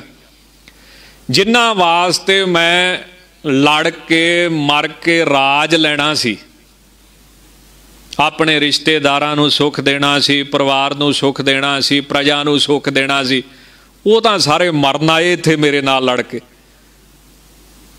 ਤੇ ਸਾਰਿਆਂ ਨੂੰ ਮਾਰ ਕੇ ਮੈਂ ਰਾਜ ਕਰਨਾ ਕਿਹਦੇ ਤੇ ਆ? ਹੁਣ ਉਹਦੀ ਭਾਵਨਾ, ਦੋਵਾਂ ਦੀ ਭਾਵਨਾ 'ਚ ਕਿੰਨਾ ਫ਼ਰਕ? ਉਹ ਕਹਿੰਦਾ, ਇਹ ਮੇਰੇ ਵਾਸਤੇ ਮਰਨਾ ਏ ਆ। ਦਰਯੋਧਨ ਕਹਿੰਦਾ, ਮਰਾਉਣੇ ਪਏ ਤੇ ਮਰਵਾਉਂਗਾ ਮੈਂ ਸਾਰੇ। ਅੱਛਾ, ਦੂਸਰੇ ਬੰਨੇ ਅਰਜਨ ਕੀ ਕਹਿੰਦਾ ਜਿੰਨਾ ਵਾਸਤੇ ਮੈਂ ਰਾਜ ਭਾਗ ਪ੍ਰਾਪਤ ਕਰਨਾ ਸੀ ਵੀ ਇਹ ਸੁਖੀ ਵਸਣ, ਉਹ ਤੇ ਸਾਰੇ ਇੱਥੇ ਲੜ ਕੇ ਮਰ ਜਾਣੇ ਆ ਤੇ ਮੈਂ ਰਾਜ ਕਰਕੇ ਕੀ ਕਰਦਾ ਵਾਂ? ਇਹਦੇ ਨਾਲ ਉਹਦੇ ਭੀਖ ਮੰਗੜੀ ਚੁੱਕ ਚੰਗੀ ਆ। ਉਹਨੇ ਚੁੱਕਿਆ ਆਪਣਾ ਤੀਰ ਕਮਾਨ ਤੇ ਭਵਾ ਕੇ ਮਾਰਿਆ ਥੱਲੇ ਤੇ ਰਾਤ ਵਿੱਚ ਬਹਿ ਗਿਆ ਚੌਂਕੜਾ ਮਾਰ ਕੇ ਵੀ ਆਪਣਾ ਨਹੀਂ ਕੋਈ ਮਤਲਬ। ਤਾਂ ਮਹਾਰਾਜ ਕਹਿੰਦੇ, ਅਰਜਨ ਦੀ ਜਿੱਤ ਹੋ ਗਈ। ਕਹਿੰਦੇ, ਜੀ, ਤੁਹਾਨੂੰ ਕਿਦਾਂ ਪਤਾ? ਕਹਿੰਦੇ, ਇਹਦੇ ਦਿਲ 'ਚ ਦਇਆ ਵਾ। ਤੇ ਜਿੱਥੇ ਦਇਆ ਹੋਵੇ, ਉੱਥੇ ਧਰਮ ਹੈ ਤੇ ਜਿੱਥੇ ਧਰਮ ਹੋਵੇ, ਉੱਥੇ ਵਾਹਿਗੁਰੂ ਹੈ, ਪਰਮੇਸ਼ਰ ਹੈ, ਉਹਦੀ ਜਿੱਤ ਹੈ। ਅੱਜ ਨਾ ਹੋਈ ਕੱਲ ਹੋਊ, ਪਰਸੋਂ ਹੋਊ। ਅਖੀਰ ਜਿੱਤ ਤੇ ਫਿਰ ਧਰਮ ਵਾਲੇ ਦੀ ਹੋਊਗੀ ਨਾ, ਦਇਆ ਵਾਲੇ ਦੀ ਹੋਊਗੀ। ਤਾਂ ਭਾਵਨਾ ਕਿਸੇ ਦੀ ਛਿਪੀ ਨਹੀਂ ਰਹਿ ਸਕਦੀ ਹੈ। ਤੁਸੀਂ ਹੈਰਾਨ ਹੋਵੋਗੇ ਜਦੋਂ ਮਨ ਦੇ ਵਿੱਚ ਉਦਵੇਗ ਵੱਧਦਾ ਵਾ। ਹੁਣ ਭਾਵਨਾ ਤੇ ਮਨ ਦੀ ਹੁੰਦੀ, ਪਰ ਸਰੀਰ ਆਈ ਉਹ ਪ੍ਰਗਟ ਹੁੰਦੀ ਹੈ। ਉਦਾਹਰਣ ਦੇ ਤੌਰ ਤੇ ਕ੍ਰੋਧ ਆਉਣ ਤੇ ਅੱਖਾਂ ਲਾਲ ਹੋ ਜਾਂਦੀਆਂ। ਹੁਣ ਕ੍ਰੋਧ ਪੈਦਾ ਤੇ ਮਨ 'ਚ ਹੁੰਦਾ ਵਾ, ਪਰ ਅੱਖਾਂ ਬਾਹਰ ਲਾਲ ਹੋ ਰਹੀਆਂ। ਅੰਦਰਲੀ ਭਾਵਨਾ ਹੁਣ ਅੱਖਾਂ ਤੇ ਵੇਖੋ ਛਾ ਗਈ ਹੈ। ਇਸੇ ਤਰ੍ਹਾਂ ਤੇ ਕਾਮ ਆਉਣ ਤੇ ਸਰੀਰ ਉਤੇਜਿਤ ਹੁੰਦਾ ਹੈ। ਇਸੇ ਤਰ੍ਹਾਂ ਹੀ ਭੋਜਨ ਦੀ ਇੱਛਾ ਕਰਕੇ ਇੱਛਾ ਤੇ ਅੰਦਰ ਪੈਦਾ ਹੁੰਦੀ ਆ, ਪਾਣੀ ਜੀਵ ਤੇ ਆ ਜਾਂਦਾ ਹੈ। ਆਉਂਦਾ ਕਿ ਨਹੀਂ? ਲੁਕੋ ਭਾਵਨਾ ਕੋਈ ਲੁਕੋ ਸਕਦਾ, ਆਪਦੀ ਭਾਵਨਾ ਕੋਈ ਨਹੀਂ ਲੁਕੋ ਸਕਦਾ। ਤਾਂ ਉਹ ਸਥੂਲ ਸਰੀਰ ਤੇ ਪ੍ਰਗਟ ਹੁੰਦੀ ਹੈ। ਇਸੇ ਲਈ ਸੰਤ ਮਹਾਤਮਾ ਨੇ ਕੀ ਆਖਿਆ? ਕੋਈ ਵੀ ਆਪਣੇ ਆਪ ਨੂੰ ਲੁਕੋ ਕੇ ਨਹੀਂ ਰੱਖ ਸਕਦਾ। ਕਲਗੀਧਰ ਜੀ ਦੇ ਸਪਸ਼ਟ ਲਿਖਿਆ ਵਾ, ਇਸ਼ਕ ਮੁਸ਼ਕ ਖਾਂਸੀ ਖੁਰਕ ਸ਼ਿਫਤ ਛਪਾਏ ਨਾ, ਜਿੰਨਾ ਮਰਜ਼ੀ ਕੋਈ ਜ਼ੋਰ ਲਾ ਤਾਂ ਮਨੋ ਭਾਵ ਜਿਹੜੇ ਨੇ, ਉਹ ਨਹੀਂ ਰੁਕਦੇ। ਬੜਾ ਸੁੰਦਰ ਧਾਰਮਿਕ ਗ੍ਰੰਥਾਂ 'ਚ ਲਿਖਿਆ। ਹੁਣ ਜੇ ਕੋਈ ਬੰਦਾ ਕਵੇ ਵੀ ਮੈਂ ਪਰਮੇਸ਼ਰ ਨੂੰ ਮਿਲਣਾ ਹੈ, ਵਾਹਿਗੁਰੂ ਨੂੰ ਮਿਲਣਾ ਹੈ ਤਾਂ ਉਹ ਦੇਖਣਾ ਪਊਗਾ ਵੀ ਇਹਦੇ ਵਿੱਚ ਭਾਵਨਾ ਕਿੰਨੀ ਕੁ ਤੇਜ਼ ਆ। ਉਹਦੀਆਂ ਨਿਸ਼ਾਨੀਆਂ ਨੇ ਕੁਝ। ਜਿਵੇਂ ਲਿਖਿਆ ਨਾ ਸੀਦਯੰਤੀ ਮਮ ਗਾਤਰਾਣੀ, ਮੇਰਾ ਸਰੀਰ ਫਟ ਚੱਲਿਆ। ਕਦੀ ਹੋਇਆ ਇਦਾਂ ਰੱਬ ਨੂੰ ਮਿਲਣ ਵਾਸਤੇ। ਭਾਵੇਂ ਕਿ ਵਿਸ਼ਾ ਹੋਰ ਹੈ, ਪਰ ਇਹਨੂੰ ਜੇ ਆਪਾਂ ਵਿਰਾਗ ਦੇ ਅਰਥ ਦਈਏ, ਕਦੀ ਹੋਇਆ ਇਸ ਤਰ੍ਹਾਂ? ਮੁਖਮ ਚਾ ਪਰਿਸ਼ੁਚਿਅਤੀ ਮੇਰਾ ਮੂੰਹ ਸੁੱਕਦਾ ਜਾ ਰਿਹਾ ਹੈ। ਵੇ ਪੁੱਤ ਸ਼ਰੀਰੇ ਮੇ ਮੇਰੇ ਸਰੀਰ 'ਚ ਕੰਬਣੀ ਛਿੜ ਗਈ ਹੈ। ਰੋਮ ਹਰਸ਼ ਜਾਇਆ ਤੇ ਮੇਰੇ ਲੂ ਕੰਡੇ ਖੜੇ ਹੋ ਜਾਂਦੇ ਨੇ। ਜੇ ਕਦੀ ਰੱਬ ਦੇ ਨਾਮ ਤੋਂ ਬਿਨਾ ਮੂੰਹ ਸੁੱਕਿਆ ਵਾ ਤੇ ਦੱਸ। ਜੇ ਕਦੀ ਰੱਬ ਦੇ ਨਾਮ ਤੋਂ ਬਿਨਾ ਅਜ ਨਿਤਨੇਮ ਨਹੀਂ ਹੋਇਆ, ਬੁਖਾਰ ਚੜਿਆ ਤੇ ਦੱਸ। ਤਾਂ ਜਿੰਨਾ ਚਿਰ ਤੀਵਰ ਭਾਵਨਾ ਨਹੀਂ ਨਾ ਮਨੋਵੇਗ ਨਹੀਂ ਬਣਦਾ। ਉਹਨਾਂ ਚਿਰ ਕਹਿੰਦੇ ਐਵੇਂ ਸੁਪਨੇ ਹੀ ਆ ਲਈ ਜਾ ਬੈਠਾ, ਗੱਲਾਂ ਦਾ ਕੜਾਵਾ ਬਣਾ ਬਣਾ ਖਾਈ ਜਾਓ ਤਗੜੇ ਹੋ ਕੇ। ਤਾਂ ਇਹ ਧਾਰਮਿਕ ਗ੍ਰੰਥਾਂ ਦੀਆਂ ਨਿਸ਼ਾਨੀਆਂ ਨੇ। ਜਿਹਦੀਆਂ ਨਿਸ਼ਾਨੀਆਂ ਤੋਂ ਪਤਾ ਲੱਗਦਾ ਵੀ ਇਸ ਬੰਦੇ ਦੀ ਭਾਵਨਾ ਜਿਹੜੀ ਨਾ, ਉਹ ਵਾਹਿਗੁਰੂ ਨੂੰ ਮਿਲਣ ਵਾਲੀ ਹੈ। ਮਨੋ ਭਾਵ ਨਹੀਂ ਕਰੀ ਸ਼ਿਵ ਦੇ ਤਾਂ ਮਨੋ ਭਾਵ ਕੀ ਆ? ਮਨ ਦੇ ਵਿੱਚ ਜਿਹੜੇ ਸੰਸਕਾਰ ਬੈਠੇ ਨੇ ਜਿੰਨਾ ਚਿਰ ਉਹ ਸ਼ੁੱਧ ਨਹੀਂ ਹੁੰਦੇ ਉਹਨਾਂ ਚਿਰ ਫਿਰ ਕਈ ਵਾਰੀ ਵਿਦਿਆ ਪੜ੍ਹ ਕੇ ਵੀ ਉਹ ਕੰਮ ਹੀ ਹੁੰਦਾ ਹੈ ਜਿਹੜਾ ਆਮ ਮਨਮੁਖ ਕਰਦੇ ਹਨ।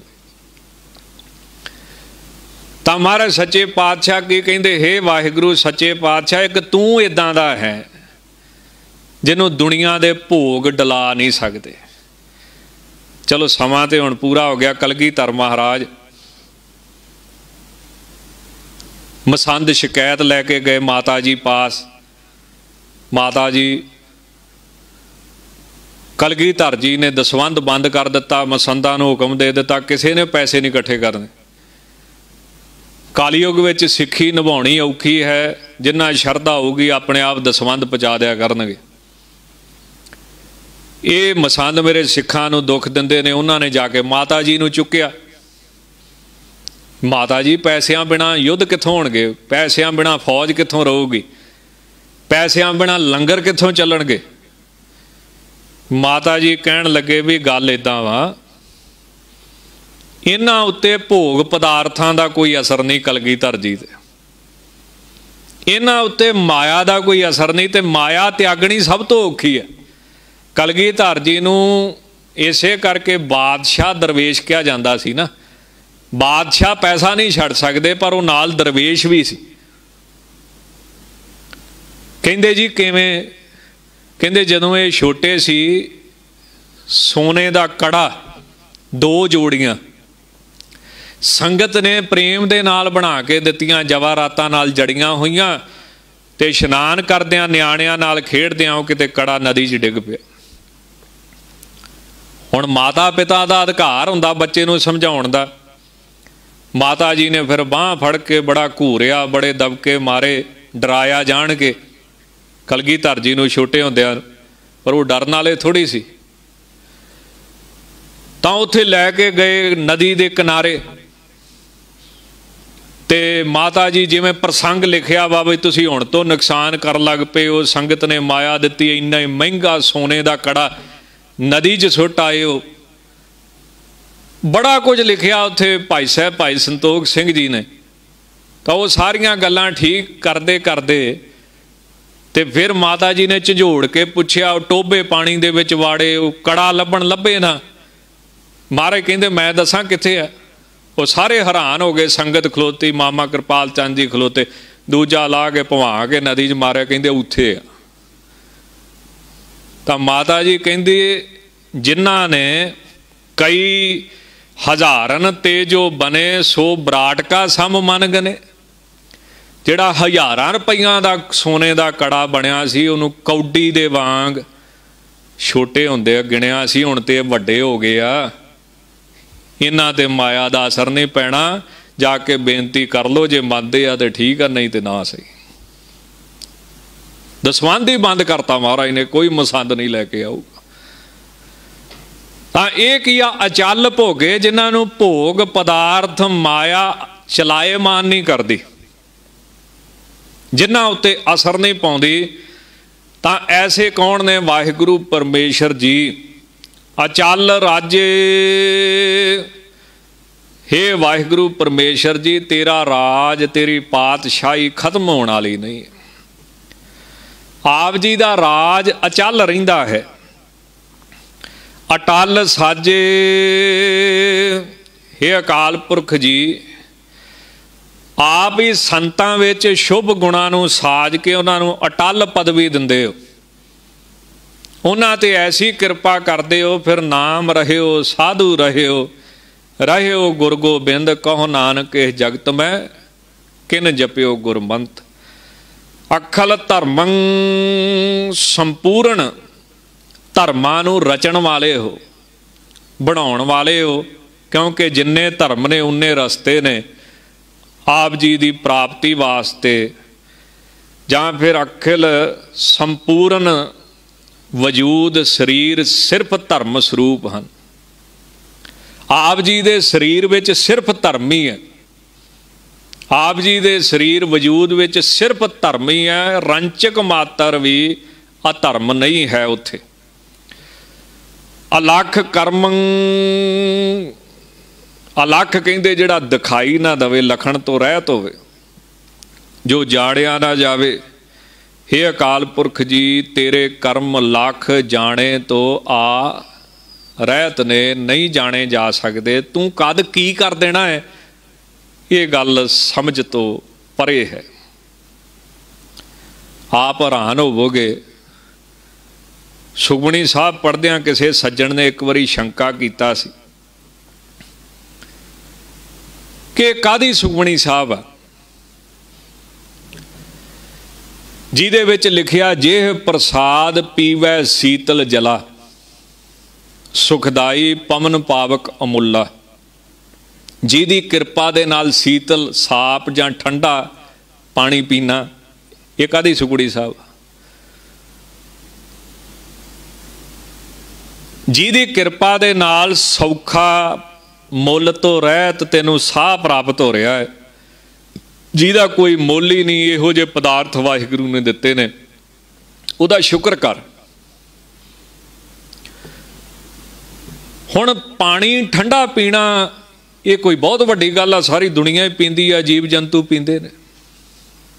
ਇਹ ਤਾਂ ਕੁਦਰਤੀ ਗੱਲ ਹੈ ਇੱਕ। ਪਰ ਨਹੀਂ ਇਹਦਾ ਵੀ ਅਰਥ ਪਤਾ ਲੱਗਦਾ ਹੈ। ਆ ਪਿੱਛੇ ਜੇ ਨਾ ਇੱਕ ਸੱਜਣ ਦੀਵਾਲੀ ਤੇ ਪਟਾਕਿਆਂ ਵਾਲੀ ਫੈਕਟਰੀ ਅੱਗ ਲੱਗ ਗਈ, ਉਹਦਾ ਸਰੀਰ ਸੜ ਗਿਆ।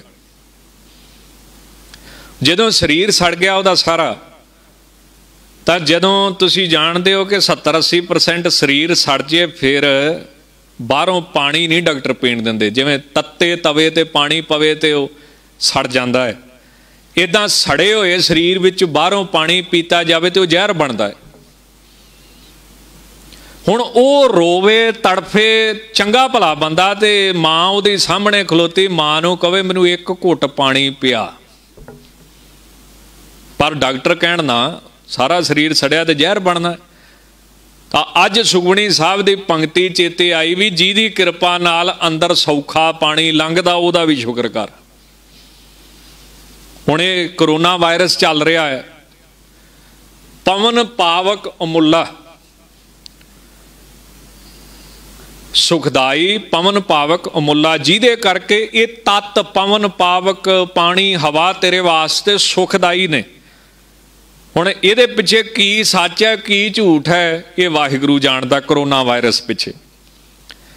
ਪਰ ਸਾਹ ਲੈਣਾ ਅਸੀਂ ਬੰਦ ਨਹੀਂ ਕਰ ਸਕਦੇ, ਸਾਹ ਦੇ ਨਾਲ ਹੀ ਬਿਮਾਰੀ ਅੰਦਰ ਜਾ ਰਹੀ ਹੈ। ਤੇ ਫੇਫੜਿਆਂ ਤੇ ਅਸਰ ਕਰਦੀ ਹੈ। ਹੁਣ ਕਿਸੇ ਨੇ ਸੋਚਿਆ ਸੀ ਵੀ ਸਾਹ ਲੈਣਾ ਹੀ ਮਰਨਾ ਪੈ ਜਾਊਗਾ। ਸਾਹ ਲੈਣਾ ਤੇ ਜ਼ਿੰਦਗੀ ਆ। ਤੇ ਸਾਹ ਦੇ ਨਾਲ ਹੀ ਬਿਮਾਰੀ ਅੰਦਰ ਜਾਣੀ ਆ, ਫੇਫੜਿਆਂ ਤੇ ਅਸਰ ਹੋਣਾ ਵਾ ਤੇ ਮੌਤ ਹੋ ਜਾਣੀ। ਇਸ ਕਰਕੇ ਸੁਖਮਣੀ ਸਾਹਿਬ ਕੀ ਕਹਿੰਦੀ ਹੈ, ਸ਼ੁਕਰ ਕਰ ਜੇ ਤਤ ਸੁਖਦਾਈ ਨੇ। ਸ਼ੁਕਰ ਕਰ ਜੇ ਪੌਣ ਪਾਣੀ ਜਾਂ ਚੰਗਾ ਬਿਸਤਰਾ ਮਿਲਦਾ ਹੈ, ਚੰਗੀ ਸਿਹਤ ਹੈ। ਇਹ ਉਹਦੇ ਹੁਕਮ ਚ ਹੈ। ਤਾਂ ਮਹਾਰਾਜ ਕੀ ਕਹਿੰਦੇ, ਉਹਦਾ ਪਤਾ ਨਹੀਂ ਉਹਨੇ ਕਦ ਕੀ ਕਰ ਦੇਣਾ ਵਾ। ਉਹਦੇ ਕਰਮ ਅਲਖ ਨੇ ਲਖਣ ਤੋਂ। ਰਹਿਤ ਨੇ ਕੋਈ ਵੀ ਜਾਣ ਨਹੀਂ ਸਕਦਾ। ਹੋਈਆਂ ਭੁੱਲਾਂ ਚੁੱਕਾਂ ਦੀ ਖਿਮਾ ਜੀ।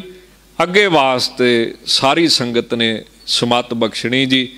ਲੇਖਾ ਕਤੇ ਨਾ ਛੂਟੀਐ ਖਿਨ ਖਿਨ ਭੂਲਣ ਹਾਰ, ਬਖਸ਼ਣ ਹਾਰ ਬਖਸ਼ ਲੈ, ਨਾਨਕ ਪਾਰ ਉਤਾਰ।